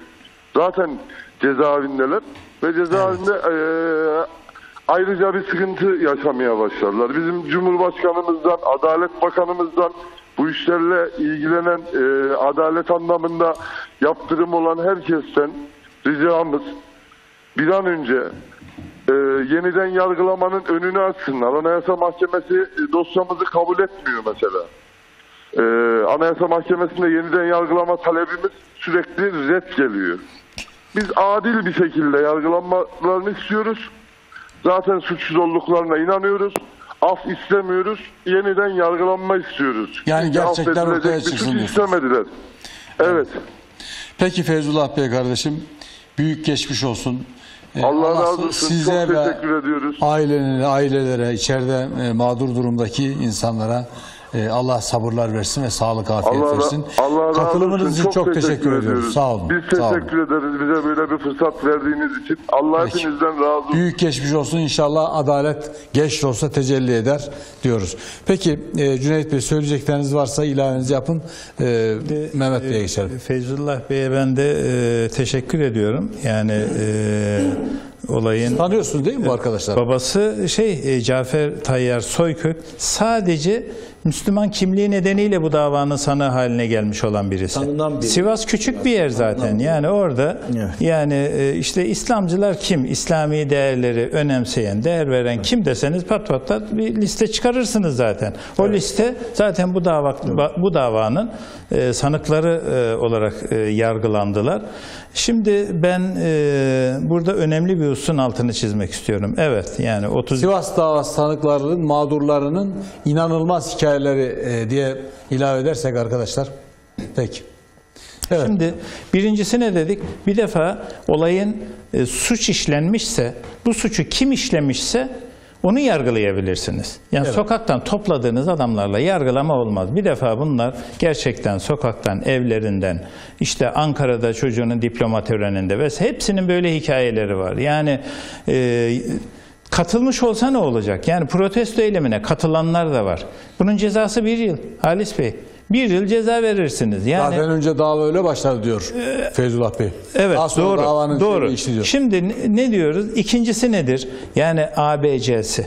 Doğru kişileri, suçu kim işlemişse onları tespit edeceksin. Suç ne burada? Bir ölüm olayı var. Protestodan dolayı yargılanmıyor insanlar. Protestonun nihayetinde bir yıl yani cezası. Bu ölüm olayına sebebiyet veren kişiler kimlerdir? Yani nihayetinde e, yıllar sonra ortaya çıktı ki Malatya Savcılığı da soruşturma başlatmıştı. Bir gizli tanık ortaya çıktı. Dedi ki biz dedi görevlendirildik, dört kişiydik. Burada dedi e, işte otelin şeyi tutuşturulduktan sonra oradan uzaklaştık. Başbağlar kırsalına doğru yola çıktık diyor. Yani orası da planlanmış. Onu e, lütfen bir daha yeniden şey yapar mısınız? E, Şimdi diyor ki gizli, kişi- gizli, gizli tanık biz Evet. kişi diyor görevlendirildik. Hatta e, fotoğraflar var. Yerel bir basının çektiği fotoğraf var. Kolt tabanca gözüküyor. Yani arka e, cebinde. Bütün Sivaslılar diyor ki biz hepimiz tanırız birbirimizi. Bu Sivaslı değil. Dışarıdan gelmiş diyor. Ve bu kişiler bu olaylardan sonra otobüslere binip şey yapıyorlar, uzaklaşıyorlar. Arabalarla uzaklaşıyorlar. Hiç kimse de bunları durdurtturmuyor. Biz MİT'e sorulsun dedik avukatlar olarak. Yani MİT görevlileri kimlerdi o gün? En azından yüzleştirilir. O kişi miydi, değil miydi vesaire falan. Tabii. Böyle bir şey yapmadı. Mahkeme reddetti. Talebimizi bile kabul etmedi. Yani mesela bu e, otel otelin içerisinde e, silahı olan kişilerin silahlarının balistik incelemeler yapılmasını çünkü silahla öldürülen dışarıda otelin içerisinde insanlar var. Bu talebimizle dava ile ilgisi olmadığı için reddedildi. Yani bu taleplerimizde. Dolayısıyla böyle bir yargılama süreci yürütüldü. Şimdi birincisi ne dedik? Doğru kişileri tespit edeceksin. Ölümle ilgili olan kişileri. Tek bir tane bile böyle bir tespit yok. İkincisi nedir? Bir defa doğru mahkemede ve doğru maddelerle yargılayacaksın. Mahkeme hakimlerimizin ilk teşhisleri doğru aslında. Gö- toplantı gösteri yürüyüşünü ihlalden Asliye Ceza Mahkemesi'nde dava açtılar. Bir grup sanık hakkında da siz diyor taksirle ölüme sebebiyet verdiniz diyor. Onun da cezası 16-18 sene falan hapis cezası. Ağır Ceza Mahkemesi'nde dava açtılar. Çünkü otelin önünde şey yapıldı. Kimisi elinde benzin bidonu vardı vesaire falan bir takım iddialar. Onları tuttular. Ağır Ceza Mahkemesi'nde dava açtılar. Ondan sonra yani bir grupta Asliye Ceza Mahkemesi'nde cezası nedir? Ceza verseler bile e, bir yıl. Yani toplantı gösteri yürüyüşü kanununu ihlal. Bu, bu süreç içerisinde bakın davalar doğru mahkemede doğru yerde açıldı. Sivas Ağır Ceza Mahkemesi'nde, Sivas Asliye Ceza Mahkemesi'nde. Sonra ne oldu? Sonra Antalya'da Devlet Güvenlik Mahkemesi savcıları Vural Savaş'ın başkanlığında bilahare konuşalım mı? Tamam olur. Peki. Ee, Cüneyt Bey sonra hem sonrasını hem de sonra ne yapmamız lazım gel ne yapması lazım geldiğini konuşmak üzere size tekrar döneceğim. Mehmet Şahin Bey, el önünüzde mektuplar var. Evet. Yani e, içerideki mağdurların hikayelerini özetleyen, anlatan, gerçekten e, yürek parçalayan hikayeler var. Bunları devam edin. Buyurun. Şimdi e, tabi bu mektuplardan bahsedebiliriz de yalnız şunu söyleyeyim ben. E, hakikaten az evvel e, bağlanan mahkum e, yakını arkadaşların ifade ettiği gibi bu Sivas davasına olsun 28 Şubat sürecindeki yargılamalar e, da yargılanıp ceza alan insanlara yönelik olsun Türkiye'de ciddi bir kamuoyu hiçbir zaman oluşturulamadı. Ve bu insanlar sanki gerçekten bu suçları işlemişler gibi yani medya kullanılarak özellikle medya, basın kullanılarak öyle bir kamuoyu oluşturuldu ki bu insanlar gerçekten sanki bu cinayetleri işlediler. Bu insanlar gerçekten gittiler Madımak'ta sırf Alevi oldukları için 33 tane insanı yaktılar şeklinde Böyle bir böyle bir fotoğraf çıkartıldı. Evet. Bir kere bunun doğru olmadığını bu insanlara anlatmayı biz başaramadık, beceremedik. Önce bir kere e, şeyi iğneyi kendimize çuvaldızı da başkasına batıralım. Ben Umut davasından yargılandım. Cezaevinden çıktığımda benim eşim bana şunu söyledi. Dedi ki biz sen üzülmeyesin diye sana söylemedik ama senin tanıdığın İslami çevrelerden insanlar o yargılama ve gözaltı sürecinde bizi gördüklerinde yollarını değiştirdiler. Yani bu bir gerçek yani bunu görmemiz lazım. Şimdi şimdi insanlar biraz sesini yükseltmeye başladı. İşte e, e, işte bir takım e, kuruluşlarımız bu işe biraz ses vermeye başladı ama ben açık söylüyorum 28 Şu- Şubat sürecinde görülen davaların hiçbirisi bu ülkede hakkıyla kamuoyuna anlatılamadı ve halen bakın halen sokaktaki insana sorun 28 Şubat sürecinden dolayı cezaevinde insanların olmadığını düşünürler, bilirler. Evet. Halbuki öyle değil işte az evvel e, Cüneyt Hoca söyledi yani 600'e yakın insan var ve bu davalardan yatıyorlar ve bunların %80'ine yakını da ağırlaştırılmış müebbet yatıyor. Yani en az Ve 20 hikayeler sene birbirlerine benziyor. Hepsi birbirine. Aynı şeyi ben yaşadım. Ben de idamla yargılandım. 5 sene yattım, çıktım. Belki ben de şu anda onlarla beraber 18 yıldır içeride olacaktım yani. Şunu anlatmaya çalışıyorum. Yani gerçekten biz e, bu insanlarımıza sahip çıkamadık. Sivas davası sanıklarına, hele hele Sivas davası sanıklarına sanki gerçekten bu insanlar bu işi yapmış gibi e, gösterildi. Öyle bir fotoğraf ortaya çıkartıldı ve açık söylemek gerekirse kimi İslami çevreler bile ya bunlar bu işi yapmıştır şeklinde bir yaklaşım gösterdiler. Bir kere yani bu büyük bir yanlış ve bundan geri dönmemiz lazım. İşte hukuksuzlukları e, Cüneyt Hocam anlatıyor. Ben başka bir şey anlatayım size. Buyurun, buyurun. Cüneyt Hocam hatırlar. Şimdi bu yürüyüş sırasında Cüneyt Hocam'ın dediği gibi bana gelen mektuplardan ben bunları öğreniyorum. Anlatıyor insanlar hikayelerini. Zannediyorlar ki işte biz de hani acaba dertlerine bir derman olabilir miyiz diye. Biz dertleşiyoruz onlarla. Şimdi diyor ki yargılama sürecinde bizim örgütsel herhangi bir şey bulamadı mahkeme. E tabi devlete yönelik bir slogan da bulamadı. Yani çünkü valiye ve e, tabiri caizse Aziz Nesin'e yönelik bir tepki vardı orada. Çok doğal bir tepki. Evet. Kendiliğinden oluşan bir tepki ama daha sonra provoke edilen bir tepki. Ve ne yapılıyor biliyor musunuz? Bakın dava dosyasına şu sloganlar ilave ediliyor. Şeriat gelecek, zulüm bitecek. Bu sloganı atmışlar. Başka bir şey daha atmışlar. Cumhuriyetin temeli Sivas'ta kuruldu, Sivas'ta yıkılacak. Ya bunu bir kere slogan olarak atılması Söylenemez bile yani. mümkün değil. Peş peşine söyleseniz mümkün değil söylenemez. Slogan olarak atılamaz ama bütün bunlar gerekçe gösterildi ve devlete karşı suç işlendi diye 146 birden bu insanlara ceza verildi. Bunlar temel oluşturdu. Başka bir şey yaptılar. Ee, Kongre Müzesi'nin önündeki Atatürk büstü var temizlenmek ve bir takım e, bakımı yapılması için yerinden sökülen bu büst tam da o tarihe denk geldiği için söküldüğü birileri tarafından askerlere hatta o e, o e, emir verilen askerler daha sonra bildiğim kadarıyla itiraf da ettiler bu konuyu. Diyorlar ki siz bunu götürün bu heykeli atın oraya. Yani sanki birileri bunu sökmüş oradan. Yani o gösteriler sırasında atmış yani Atatürk heykelini söktüler, attılar Kongre Müzesi'nin önünde diye. Askerler oraya atamamışlar da gitmişler 300-500 metre aşağıda bir yere atmışlar filan. Atma da değil. Yok, Ha, yer bırakmışlar, sadece. bırakmışlar, Evet, bırakmışlar. Ve bu hadise yani bu büstün oradan temizlik için söküldüğüne dair Büyük Millet Meclisi'nin yaptırdığı araştırma var, Cumhurbaşkanlığı'nın yaptığı araştırma ve bunlar hep ortaya çıkmış, tespit edilmiş ama bunlar da e, davada karara gerekçe gösterilerek bu insanlara 146 birden idam cezası verilmiş. Yani bu çok önemli bu. Gerçekten böyle. Şimdi ben bir şey daha söylemek istiyorum. Bakın dikkat edin. Bütün mahkum yakınları aynı şeyi söylüyor. Diyorlar ki biz kimseden e, bir şey istemiyoruz. Yani bizi affedin diye bir şey istemiyoruz. Bizim istediğimiz sadece şu. Bu 28 Şubat sürecinde İnsanlar hukuksuz, haksız yere adaleti tamamen ayaklar altına alınarak e, yargılandılar, ağır cezalar aldılar, 20-25 yıldır cezaevindeler, bir trajedi, bir dram yaşanıyor. Bunların hem kendileri bu dr- dramı yaşıyor, acıları çekiyorlar, hem aileleri bu dramı yaşıyor. Biz diyorlar affedilmek istemiyoruz. Yeniden yargılayın bizi. Bu 28 Şubat sürecindeki bu özel yetkili mahkemelerin hepsi zaten siyasi kararlar verdiler. Yani bunlar hukuka uygun bir karar vermediler. Dolayısıyla bizi yeniden yargılayın diyorlar. Bakın bu çok önemli. Bunun altını kalın e, e, şeylerle çizmek istiyorum yani. Bu insanlar kimseden affedilme, affedilmeyi beklemiyor. Diyorlar ki bizi yeniden yargılayın. Eğer biz Gerçek ortaya Gerçekten. Evet. suçluysak bize bu cezaları verin ama suçlu değilsek de artık bizi bırakın yani bu zulüm bitsin diyorlar yani. Bundan daha doğal, bundan daha insani, bundan daha e, normal bir talep olabilir mi? Ve biliyorsunuz az evvel söyledik işte 9. Ceza Dairesi bu davayı onaylayan daire.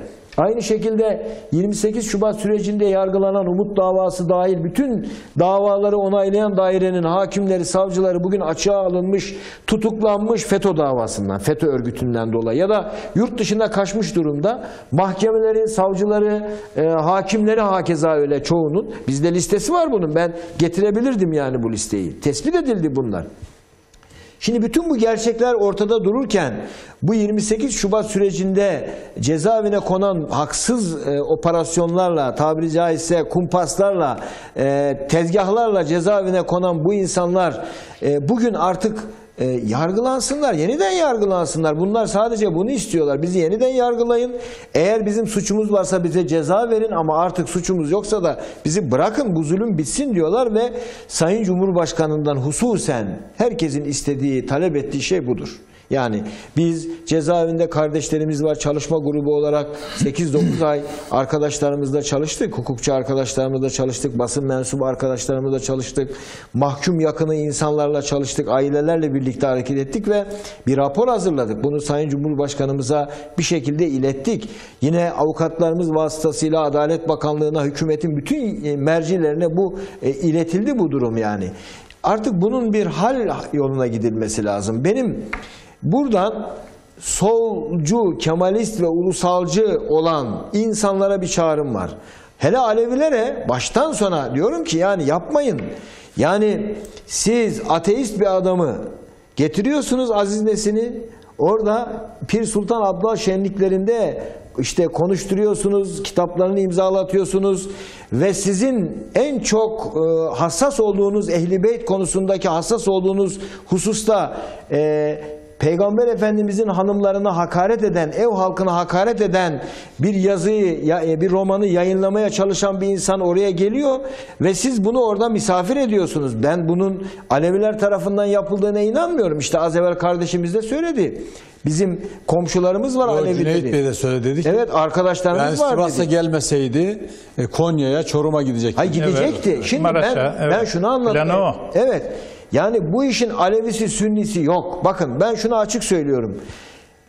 Biz burada sadece idam cezası almış 33 tane insanı savunmuyoruz ya da onların derdiyle dertlenmiyoruz. Biz aynı zamanda Madımak Oteli'nde e, boğularak yanan, kurşunlanarak öldürülen bu insanların da hakkını savunmaya çalışıyoruz. Diyoruz ki bunlar bizim insanlarımız, bunlar bizim canlarımız. Bu insanlar niçin öldürüldü? Bu açığa Kim çıksın. öldürdü? Kim Gerçek öldürdü? failleri Tabii, kimse- evet, gerçek failleri kimse bu bulunsun diyoruz ve bunlar cezalandırılsın diyoruz. Ama bu olay bahane ediler, edilerek İslami kimliğinden dolayı, dindar kişiliğinden dolayı cezaevine atılan ve 25 yıldır bu çileyi çeken insanlar da artık serbest bırakılsın diyoruz ya. Ve bunu hep beraber yapalım. Sadece biz İslami çevreler yapmayalım bunu. Alevisiyle, Sünnisiyle, solcusuyla, sağcısıyla, Kemalistiyle, ulusalcısıyla hep beraber yapalım. 28 Şubat mağdurları diyorsunuz. Bunlarla ilgili mesela, e, örnek verebileceğiniz birkaç e, husus var mıdır? Tabii ki. Şu an- tabii Buyurun. ki şu anda cezaevinde bakın Umut davasından yatan insanlar var. İslam'a hareket davasından yatan insanlar var. Hizbut Tahrir davasından yatan insanlar var. İlim Menzil grubundan dolayı yatan insanlar var. Sivas davasından dolayı yatan insanlar var. Göya Jakkami'ye suikast düzenlediler diye komik bir senaryoyla cezaevine konulan insanlar var. Yani ve bu insanların sayısı yaklaşık 500-600 civarında. Yani ve bunların hep çoğu da ağırlaştırılmış müebbet hapis cezası yatıyor. Yani idam almışlar. Yani 20-25 yıldır bu insanların dramı devam ediyor. Ve bu insanların hem içerideki insanların hem de bunların dışarıdaki yakınlarının tek bir talebi var. Sayın Cumhurbaşkanı'ndan, Sayın Hükümet'ten. Diyorlar ki biz af istemiyoruz. Biz sadece yeniden yargılanma istiyoruz. Bizi normal mahkemelerde bakın özel yetkili ve zaten E, çokça şu anda yani yargılamaya, absürt yargılamalara, gerçekten hukukun e, katledildiği yargılamalara pek çok misal vermek de mümkün. Tabii, tabii, tabii, FETÖ e, yapısı ve yaklaşımı var, FETÖ davaları var, FETÖ'nün e, FETÖ'cülerin yaptığı yargılamalar var ki e, Şimdi işin işin bir aya zaten bakın şunu söyleyeyim. Türkiye'de e, biliyorsunuz yani her belli zamanlarda e, bir balans ayarı yapılır. Küresel güçler Türkiye'yi arada sırada böyle balans ayarları yaparlar. İşte bu 60 ihti- ihtilalinde, 12 Mart muhtırasında, 12 Eylül darbesinde, 28 Şubat sürecinde ve 15 Temmuz'da başaramadıkları. Bunlar hep küresel güçlerin balans ayarlarıdır bunlar. Yani evet yani bu ülkedeki insanlar ya da kurumlar ya da kuruluşlar kullanılır ama netice itibarıyla küresel güçlerin balans ayarıdır ve 28 Şubat süreci ve Sivas davası çok açık ve nettir. Bir komplodur. Bakın şu fotoğrafa bakın. Şu, şu anlattıklarımıza bakın. Mahkum yakınlarına bakın. Hayır bize de bakmayın. Dava dosyasına alın elinize bakın. Bütün kolluk kuvvetlerindeki ifadelere bakın. Savcılıktaki Teşhis ifadelere bakın. Teşhis tutanaklarına bakın. Yargılama sürecindeki e, ifadelere bakın. Fotoğraf çok açık ve net. Bu bir komplo. Bu bir proje ve bu proje hayata geçirildi ve başarılı oldu. Biz de diyoruz ki artık Türkiye bu komplolarla yönetilmesin. Türkiye'ye artık küresel güçler balans ayarı yapamasın. Biz o balans ayarı yapacak anahtarları yok edelim, kıralım, faili elleri kıralım. faili meçhuller olmasın. olmasın yani. Evet, peki. Bizim derdimiz bu. Bizim yoksa başka bir derdimiz yok. Biz Madımak Oteli'nde yanan 33 cana da yanıyoruz. Bizim canımızdır. 25 yıldır çile çeken kardeşlerimiz de bizim canımızdır. Peki Mehmet. Ama bunu hep birlikte çözeriz toplum olarak. Yani ayrıştırarak çözemeyiz. Evet. Cüneyt Bey şimdi e, tabii hukuksuzluklar yani anlatmakla bitecek gibi değil öyle görünüyor. Evet, aynen Bir öyle. gene esasen davadaki hukuksuzluklar kamuoyuyla paylaşılmalı bence. Yani e, böyleydi şöyleyden ziyade deliller üzerinden biraz konuşmakta fayda var diye düşünüyorum. Bir ikincisi de e, ne yapılması lazım artık çözüm olarak da e, bir işte mağdur yakınlarının beklentilerini dinledik. Gerçekten adalet arıyorlar. E, kimseden de lütuf falan da aramıyorlar. Sadece adalet arıyorlar. Siz e, ne yapılmalı ki içinde bulunduğunuz o trajikomik e, davalara iştirak ettiğiniz durumdan, töhmetten hem Türk adaleti kurtulsun, yargısı kurtulsun hem de zulme bir anlamda çünkü mazlum diyorlar, e, zulme uğruyoruz diyorlar. Bu durumdan kurtulmuş olsun. Buyurun. Şimdi yargılama ile ilgili eksik kaldı. Bir ikinci hususta buyurun. da örnek vereyim. Şimdi e, normal yetkili mahkemelerde dava açıldı. Evet. Yani Asliye Ceza Mahkemesi'nde toplantı gösteri yürüyüşüne muhalefet. Ağır Ceza Mahkemesi'nde de siz kusurunuzdan dolayı birden çok kişinin ölümüne sebebiyet verdiniz diye Ağır Ceza Mahkemesi'nde dava açıldı. Dava açıldıktan sonra daha duruşma başlamadı. Bir el müdahale etti oraya. Vural Savaş Antalya'da bir devlet güvenlik mahkemeli savcılarını topladı. Türkiye Cumhuriyeti tarihinde bir ilk. Başka bir yerde de görmedim, duymadım. Dediler ki bu, bu eylem anayasal düzene karşı bir suçtur. Neye istinaden bu kanaate vardınız? Yani yılların hakimi, yılların ağır ceza mahkemesi, savcısı bilmiyor bu işi. Siz toplanıyorsunuz Antalya'da diyorsunuz ki bu suçun vasfı anayasal düzene karşı suç. Ne oldu bu toplantıdan sonra? Bildiri yayınladılar. Tabii, bildiri Asliye Ceza Mahkemesi görevsizlik kararı verdi. Devlet Güvenlik Mahkemesi'ne gönderdi dosyayı. E, Ağır Ceza Mahkemesi görevsizlik kararı verdi. O da Devlet Güvenlik Mahkemesi'ne gönderdi. Peki nerede görülmesi lazım? En yakın Erzincan var. e, Kayseri var. e, Kayseri var. Bunların hiçbirisine gönderilmedi. Bakın Ankara'ya gönderildi. Yani kimi kime karşı koruyorsunuz? Herhangi bir güvenlik vesaire falan problemi olmadığı halde yetkisiz bir mahkemeye gönderildi. Buna rağmen Devlet Güvenlik Mahkemesi ne karar verdi biliyor musunuz? Başka bir suçtan dolayı verebilmesi mümkün değil zaten. Toplantı gösteri yürüyüşünü ihlalden karar verdi. Ölüme sebebiyet vermekten karar verdi. Örgüt bulamadı yani. Yok örgüt yok. Oradaki Ankara Devlet Güvenlik Mahkemesi örgütten dolayı karar vermedi. Temiz edildi. Biz de temiz ettik. Dedik ki nasıl ölüme sebebiyet verdi bu insanlar? Bu insan delil yok dosyada.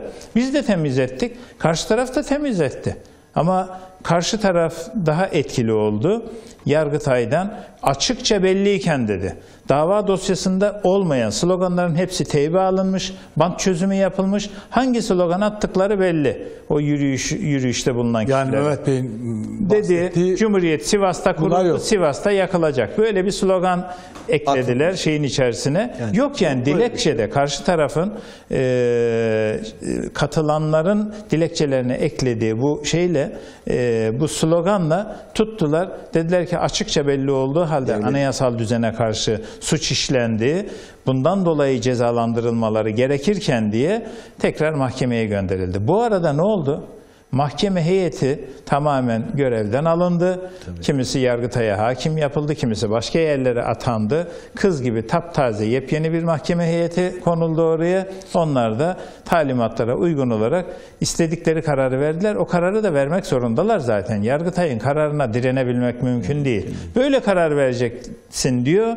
Yani adres gösteriyor. Ona göre de şey yapıldı. Hatta Orhan Karadeniz de e, Akit gazetesinde röportajı falan olmuştu. Biz diyor yanlış olduğunu gördük ama diyor direnemedik diyor. Yargıtay diyor bize böyle karar verince biz diyor ona uymak zorunda kaldık diyor. Yani yanlışlıklar olabilir diyor. Bizzat o kararı veren hakim.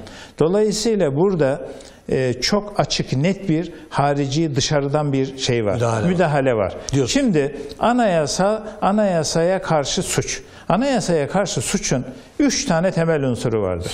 Birincisi anayasal düzeni yıkıp yerine niteliği ne olursa olsun başka bir düzen getirmek. Bunu cebir ve şiddet yöntemleriyle yapacaksın. Bombayla, silahla, tabancayla vesaire falan. Artı Hedefte kamu binaları olacak. Eyleme dökeceksin bunu. Terör eylemleri olacak. Şimdi bu insanların bakıyorsun yani Refah Partisi bayrakları var, Türk bayrakları var. Çok sayıda Türk bayrakları var. Büyük Birlik Partisi'nin bayrakları var. Partili, partililer zaten terör örgütü üyesi kabul edilemez. Yani bunlar siyasi yöntemi Evet. benimsemiş, kabul etmiş. Bunların bu suçu işlemesi mümkün değil zaten. Dolayısıyla bu insanlar e, çeşitli partilerden olan kişiler, bu topluluğa katı- katılanlar böyle bir şey söz konusu değil. Amaçları anayasal düzene karşı böyle bir şeyleri yok. Asla olmamış. Eğer anayasal düzene karşı bir tavırları olsa bu yürüyüş yapanların bir defa kamu kurumlarına zarar vermesi gerekirdi. Türkiye'de örneklerini gördük mü? Kadıköy'de birbirine kattılar. Evet. Taş üstünde taş bırakmadılar. Çok gördük. Hatta gezi olaylarında gördük. Tek bir tane kişinin burnu kanamadı. Tek bir kamu görevlisine saldırı yok. Mehmet Bey de biraz önce dile getirdi. Çakı bıçağı bile yok dosya içerisinde. Bırakın tüfeği, tabancayı, av tüfeğini vesaire falan çakı bıçağı bile yok. Cebir ve şiddet yok. Elverişli araç yok. Böyle bir anayasal düzeni değiştirmek gibi bir amacı yok. Kamu binalarına yönelik herhangi bir saldırı yok. Kamu görevlilerine yönelik herhangi bir saldırı yok. Peki böyle bir protesto eyleminden nasıl anayasal düzene e, anayasal düzeni ihlal nedeniyle 146. 146. maddeden dolayı idam cezası veriyorsunuz? Ben diyorum ki eğer PKK'lılara uyguladıkları maddeleri uygulas, uygulasalardı 10 sene 15 sene önce bu adamlar tahliye edilmiş. edilirdi. Avukat olarak diyorum ki PKK'lılara hangi maddeleri uygulamışsanız bu adamlara da bunu uygulayın. Cinayet işleyenler elini kolunu sallaya sallaya çıktı. Ama diyor diyorlar ki siz anayasal düzeni değiştirmek için e, tutuklandınız, mahkum edildiniz. Onun için sizin ceza, cezanız çok ağır. Dışarıya çıkmanız mümkün değil. Peki kanıtı ne o zaman? Yani kanıtını göstermeleri gerekmez mi? Anayasal düzene karşı suç işledikten dolayı. Evet, Allah rahmet eylesin. Yani oradaki ölenlere, o, o gün ölenlere, onlar toprağın iki metre altına gittiler. Bunları da toprağın iki metre üstünde, yani beton duvarların arasına diri diri gömdüler. 25 yıldan bahsediyoruz Halis Bey. 25 yıldır Hayatları diri diri gömüldü bu insanlar, insanlar. 5 yaşındaki çocuk e, o- 30 30 yaşındayım İşte diyor yani evet yaşındaydım diyor. 5 yaşındaydım diyor olay tarihinde. Yani küçücük şeyleri e, ge- e, geleni oldu, onların çocukları oldu, torunları oldu vesaire falan. Bunlar göremediler yani bu insanları. Eğer gerçekten gerçekten suç işlemişlerse acımasızca şey yapalım. Yani e, Bir izleyicimiz şöyle bir şey demiş. Diyor ki kısaca uzun yazmış da kısaca ifade edeyim. Diyor ki e, siz zaman zaman da bahsettiniz diyor. Yani sol örgütler, sivil toplum örgütleri, Alevi kuruluşlarıyla e, davanın avukatları ve sanık yakınları birlikte diyor bir çalışma yapsalar. Çünkü bir kamuoyu oluşturuldu diyor bir algı var. Onu kırmak için bu yapılamaz mı diye bir e, öneriler de sıralamış da soru olarak Şimdi ben şunu da söyleyeyim. bu noktada Tabii ne onlar da niçin düze siz de sordunuz. Yani diyorsunuz ki bu sorun nasıl çözülür? Evet. Yani ortada bir ciddi bir sorun var. Ciddi bir sorun. Bakın bu adli bir hata olsaydı yani en fazla birkaç yıl şey yapardı. En fazla 5 yıl Dönülürdü olurdu. yani. 20 yıl önce çözülürdü. Niçin çözülmedi? Çözülmemesinin sebebi gayet açık. Bu uluslararası küresel bir operasyon. Yani Ergenekon nasıl bir operasyonsa, Balyoz nasıl bir operasyonsa, Umut davası nasıl bir operasyonsa Bu FETÖ'cülerin yürüttüğü selam tevhid soruşturması, tahşiye soruşturması nasıl bir operasyonsa, 17-25 Aralık Zarrab vesaire falan nasıl bir operasyonsa bu Sivas davası da Sivas olayları da aynen onlar gibi bir operasyon. Yani Alevi Yani- Sünni arasında bir nifak tohumu atmak ve bu Kesinlikle. ni- nifak tohumu hançeri sürekli Amaç sıcak amaç tutmak. buydu. Bakın e, şimdi e, Irak'la alakası var mı? Doğrudan doğruya alakası var. Suriye ile alakası var mı? Doğrudan doğruya alakası var. Amerika bugün ne yapıyor? Ne yapmak istiyor? Sünnilerle Alevileri nasıl çatıştırırım? Değil mi? Türkiye'yi Sünni blok içerisinde yer alıp orada Müslümanı Müslümana kırdırmak gibi bir şeyi var.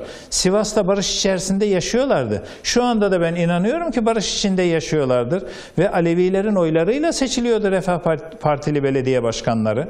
Yani hiçbir husumet yoktu. Evet. Hizmetler önce onların mahallelerine götürülüyordu. Yani gerçekten böyle bir şey de yoktu. Yani Sünnilerle orada Aleviler arasında. Türkiye genelinde yok zaten. Yani hiç kimse birbirine karşı. Dışarıdan Türkiye'de- müdahale olmadığı müddetçe Ol- olmamış. olmadığı zaten. müddetçe Suriye'de olmamış. de olmamış, Irak'ta da olmamış, olmamış. Yani bunu birbirine düşürmeye çalışan bir güç var. Şeyden önce 12 Eylül'den önce başardılar mı? Kahramanmaraş'ta başardılar. Çorum'da başardılar. Hala tatları damağında kaldı. Acaba bir daha yapabilir miyiz? Acaba bir daha başarabilir miyiz? Düşünün Sivas'ta katliamı yapıyorlar. 3 gün sonra Başbağ. Başbağlar'da katliamı yapıyorlar. Hatta silah getiriyorlar. Diyorlar ki biz size silah verelim. Yani kendinizi korursunuz. Muhtar diyor ki eğer diyor e, tutanak tutarsanız imza imza karşılığında biz teslim alırız. O zaman yok diyor imza karşılığında. Bakın Başbağlar katliamında bu program yapıldı burada sizin programınızda. Orada Alevi ile Alevi köylerinden şeyler getiriyorlar. Yani evlerini göstermek için gözcüler getiriyorlar. Herkesin yüzü kapalı ama onların yüzü açık. Niye? Alevi köyünden geldiğini görsün. Bunlar sağ bırakıyorlar bazılarını da bu olaylardan sonra gidip o, o köye saldırsın komşu köye Alevi Sünni çatışması başlasın diye. Çok sağduyulu insanlar.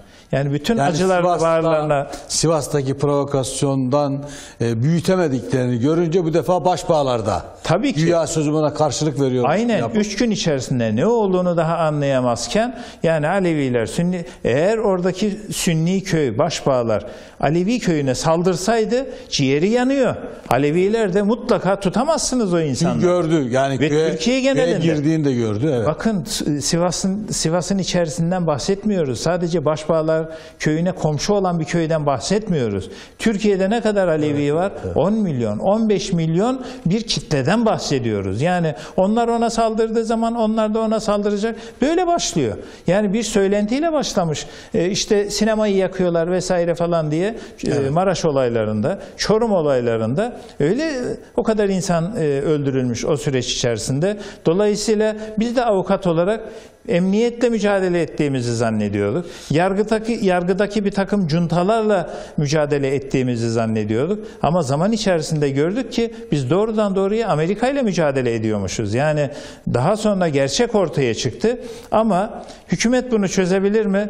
Tabii ki çok rahat çözebilir. Yani şu anda Amerika'dan talimat almıyor hükümet. Tam tersine Amerika ile Türkiye arasındaki ilişkilerin en zayıf olduğu dönem. Evet. Yani 15 Temmuz darbe teşebbüsüne destek veren bir devletten bahsediyoruz. Yani bu devletin kurduğu operasyonları Türkiye'nin açığa çıkarması lazım. Bakın önce Türkiye'de yargının itibarı için böyle bir şeye ihtiyaç var. Sürekli hatırlanacak. İstiklal mahkemeleri unutulur mu? 500 yıl geçse unutulur mu? Unutulmaz. Yani Türkiye, Türk yargısı bu lekeyi temizlemeli. Adalet Bakanlığı bu lekeyi temizlemeli. AK Parti hükümeti bu lekeyi temizlemeli. Leke nedir? Leke evet bir bir katliam var, bir e, ölümler var ama bu ölümlerin failleri bu insanlar değil. Bunu tespit etmek zor mu? O kadar kolay ki. Dosyaya bir hukukçu dosyayı açtığı zaman yüzleştirmeler diyor ki hepimizi dizdiler diyor. Yani 30'ar 30'ar 40'ar 40'ar isimlerini yazıp bütün yüzleştirme tutanakları böyle dava dosyası içerisinde. Böyle bir yüzleştirme olur mu? Kimi nerede yakaladın? Ne yapıyordu? Dosyada yok. Diyelim ki bazıları katıldı protesto yürüyüşüne. Bazıları diyelim ki suç işledi. Eğer kesin olarak tespit edemezsen hukukun cevabı çok net. Şüphe varsa mahkumiyet kararı veremezsin. Velev ki katılmış olsa bile. ki birbiriyle çelişiyor. Yani kesin kanıt lazım diyorsunuz. Kesin yani hiçbir şüpheye yer vermeyecek derecede kesin kanıtlar lazım. Ben avukat olarak canlı tanığıyım. Bu cinayetin, hukuk cinayetinin tanığıyım ve her zaman da yıllardır 25 yıldan beri de dile getiriyor, getiriyoruz. Mahkemede de söyledik. Mahkemeden sonra da maalesef Son cümlelerinizi alalım. Son, son cümlelerimiz yani ben e, inşallah e, bir e, hareketlenme var. E, bu mağduriyeti çözme yönünde e, biz de e, hükümet tarafından, yargı tarafından çalışmaların yapıldığını duyuyoruz. Bir an önce yani bakın bir kedi ağaçta kalsa itfaiye davet ediliyor vesaire falan kurtarmak için uğraşıyorlar. Tabii ki can, hayvan canı da olsa bir can kurtarılsın. Ne gerekiyorsa yapılsın ama bir insan hayatından bahsediyoruz. 25 yıldır beton duvarların arasına Ve bir ülkenin, gömülmüş olan bir ülkenin Evet. adalet sisteminin can çekişmesinden bahsediyoruz. Evet. Bu bir anlamda belki daha büyük müdür bilmem e, adalet kendi şeyini temizlemeli. Yani Kesinlikle. bu töhmetten bir an önce kurtulmalı. Peki başka bir söyleyeceğiniz yoksa? Valla temennim bir an önce e, bu mağduriyetlerin giderilmesi. Peki. Mehmet Bey birkaç cümle de sizden alalım ve Şimdi e, e, şunu söyleyeyim 146'ya birden yani e, devlete karşı işlenmiş bir terör suçundan ceza aldı bu arkadaşlar Cüneyt abi değil mi? Fakat bu arkadaşlar eve dönüş yasasından e, faydalanmak üzere başvurdular. Bütün mahkemeler e, olumlu karar verdi. Bunların bulunduğu mahkemeler cezaevleri derken sayın. yani şöyle, bir, e, bunlar e, nereye başvurdular? Kendi yargılandıkları mahkemelere başvurdular. Onlar olumlu karar verdi. Yargıtay olumlu karar verdi. Yerel mahkemelere geldi. infaz herhalde mahkemeleri bunlar. Cüneyt abi daha iyi bilir. Orada denildi ki siz örgüt değilsiniz ki bu yasadan yararlanamazsınız. Peki nasıl bir durum bu ya? Örgüt Eğer bu suç insanlar o örgüt olmadan 146'ya birle siz insanlara idam veremezsiniz ki. Peki örgüt değillerse niye bu cezayı verdiniz? Eğer örgütseler niçin bunu kabul etmiyorsunuz? Çok enteresan. Az evvel dedi ya PKK'ya e, tanınan haklar bu insanlara tanınsaydı bugün bir tane bile 28 Şubat e, mağduru cezaevinde kalmayacaktı. 10 Çok- sene önce Çok çıkardı. enteresan. 10 sene, evet. 15 sene önce 10 sene 15 sene önce çıkarlardı bakın. Hiç kimse bunu da kalmazdı. bunu da hani bir hatırlatayım Yani diyorum. zulüm bile yapmış olsalar. Diyorum haksız ki öldü, öldürdü. Hayır ceza diye işledi yani. Cinayet işleyen PKK'lılar serbest kaldı diyorum. Bak, E, eve dönüş yasasıyla göre, evet. serbest kaldılar. Topluma kazandırma yasasıyla serbest kaldılar. Son olarak şunu söyleyeyim ben. Ben buradan e, çünkü çoğu cezaevlerinde Akit TV izleniyor. Ben biliyorum e, verdikleri dilekçelerle mahkum arkadaşların. Öncelikle 28 Şubat sürecinden dolayı cezaevinde yatan kardeşlerimizi ki onlara biz mağdur diyoruz ama aslında onlar bizim mağrurlarımız onu söyleyeyim. Dik durdular. 25 senedir, 27 senedir, 20 senedir dik durdular. İslami kimliklerinden zerre kadar taviz vermediler ve hukuk mücadelesini sürdürdüler. Sürdürmeye çalıştılar kendi çabalarıyla. Ben bir kere öncelikle onları buradan selamlıyorum ailelerini, yakınlarını, e, arkadaşlarını, dostlarını, camialarını selamlıyorum. Çünkü hepsi bu çileyi çektiler. Onlar hakikaten birer Yusufi yani. Evet. Onların her birisi birer Yusuf. Dolayısıyla buradan da bir çağrıda bulunuyorum. Bütün Alevi derneklerine, bütün sol, Kemalist, ulusalcı, bütün kurum ve kuruluşlara, entelektüellere, yazarlara, çizerlere, vicdan sahibi herkese gelin. Biz buradayız. İşbirliği yapalım. Hep beraber bu cinayetleri çözelim. Adaleti birlikte arayalım. Evet, hep beraber bu cinayetleri çözelim ama suçsuz insanların da cezaevinde böyle yıllarca çürümesine göz yummayalım. Peki. Evet. Çok değerli insan, e, izleyiciler. Tabii insanlarımız e, gerçekten hikayeleri e, zamanımız ölçüsünde gerek hukukçu Cüneyt Toraman Beyefendi, gerek Mehmet Beyefendi, Mehmet Şahin Beyefendi e, olayın içeriğini, e, mazlumların yaşadıklarını ve hukuki anlamda da neler yaşadığını dilimiz döndüğü, e, zamanın el verdiği ölçüde e, değerlendirmeye çalıştık.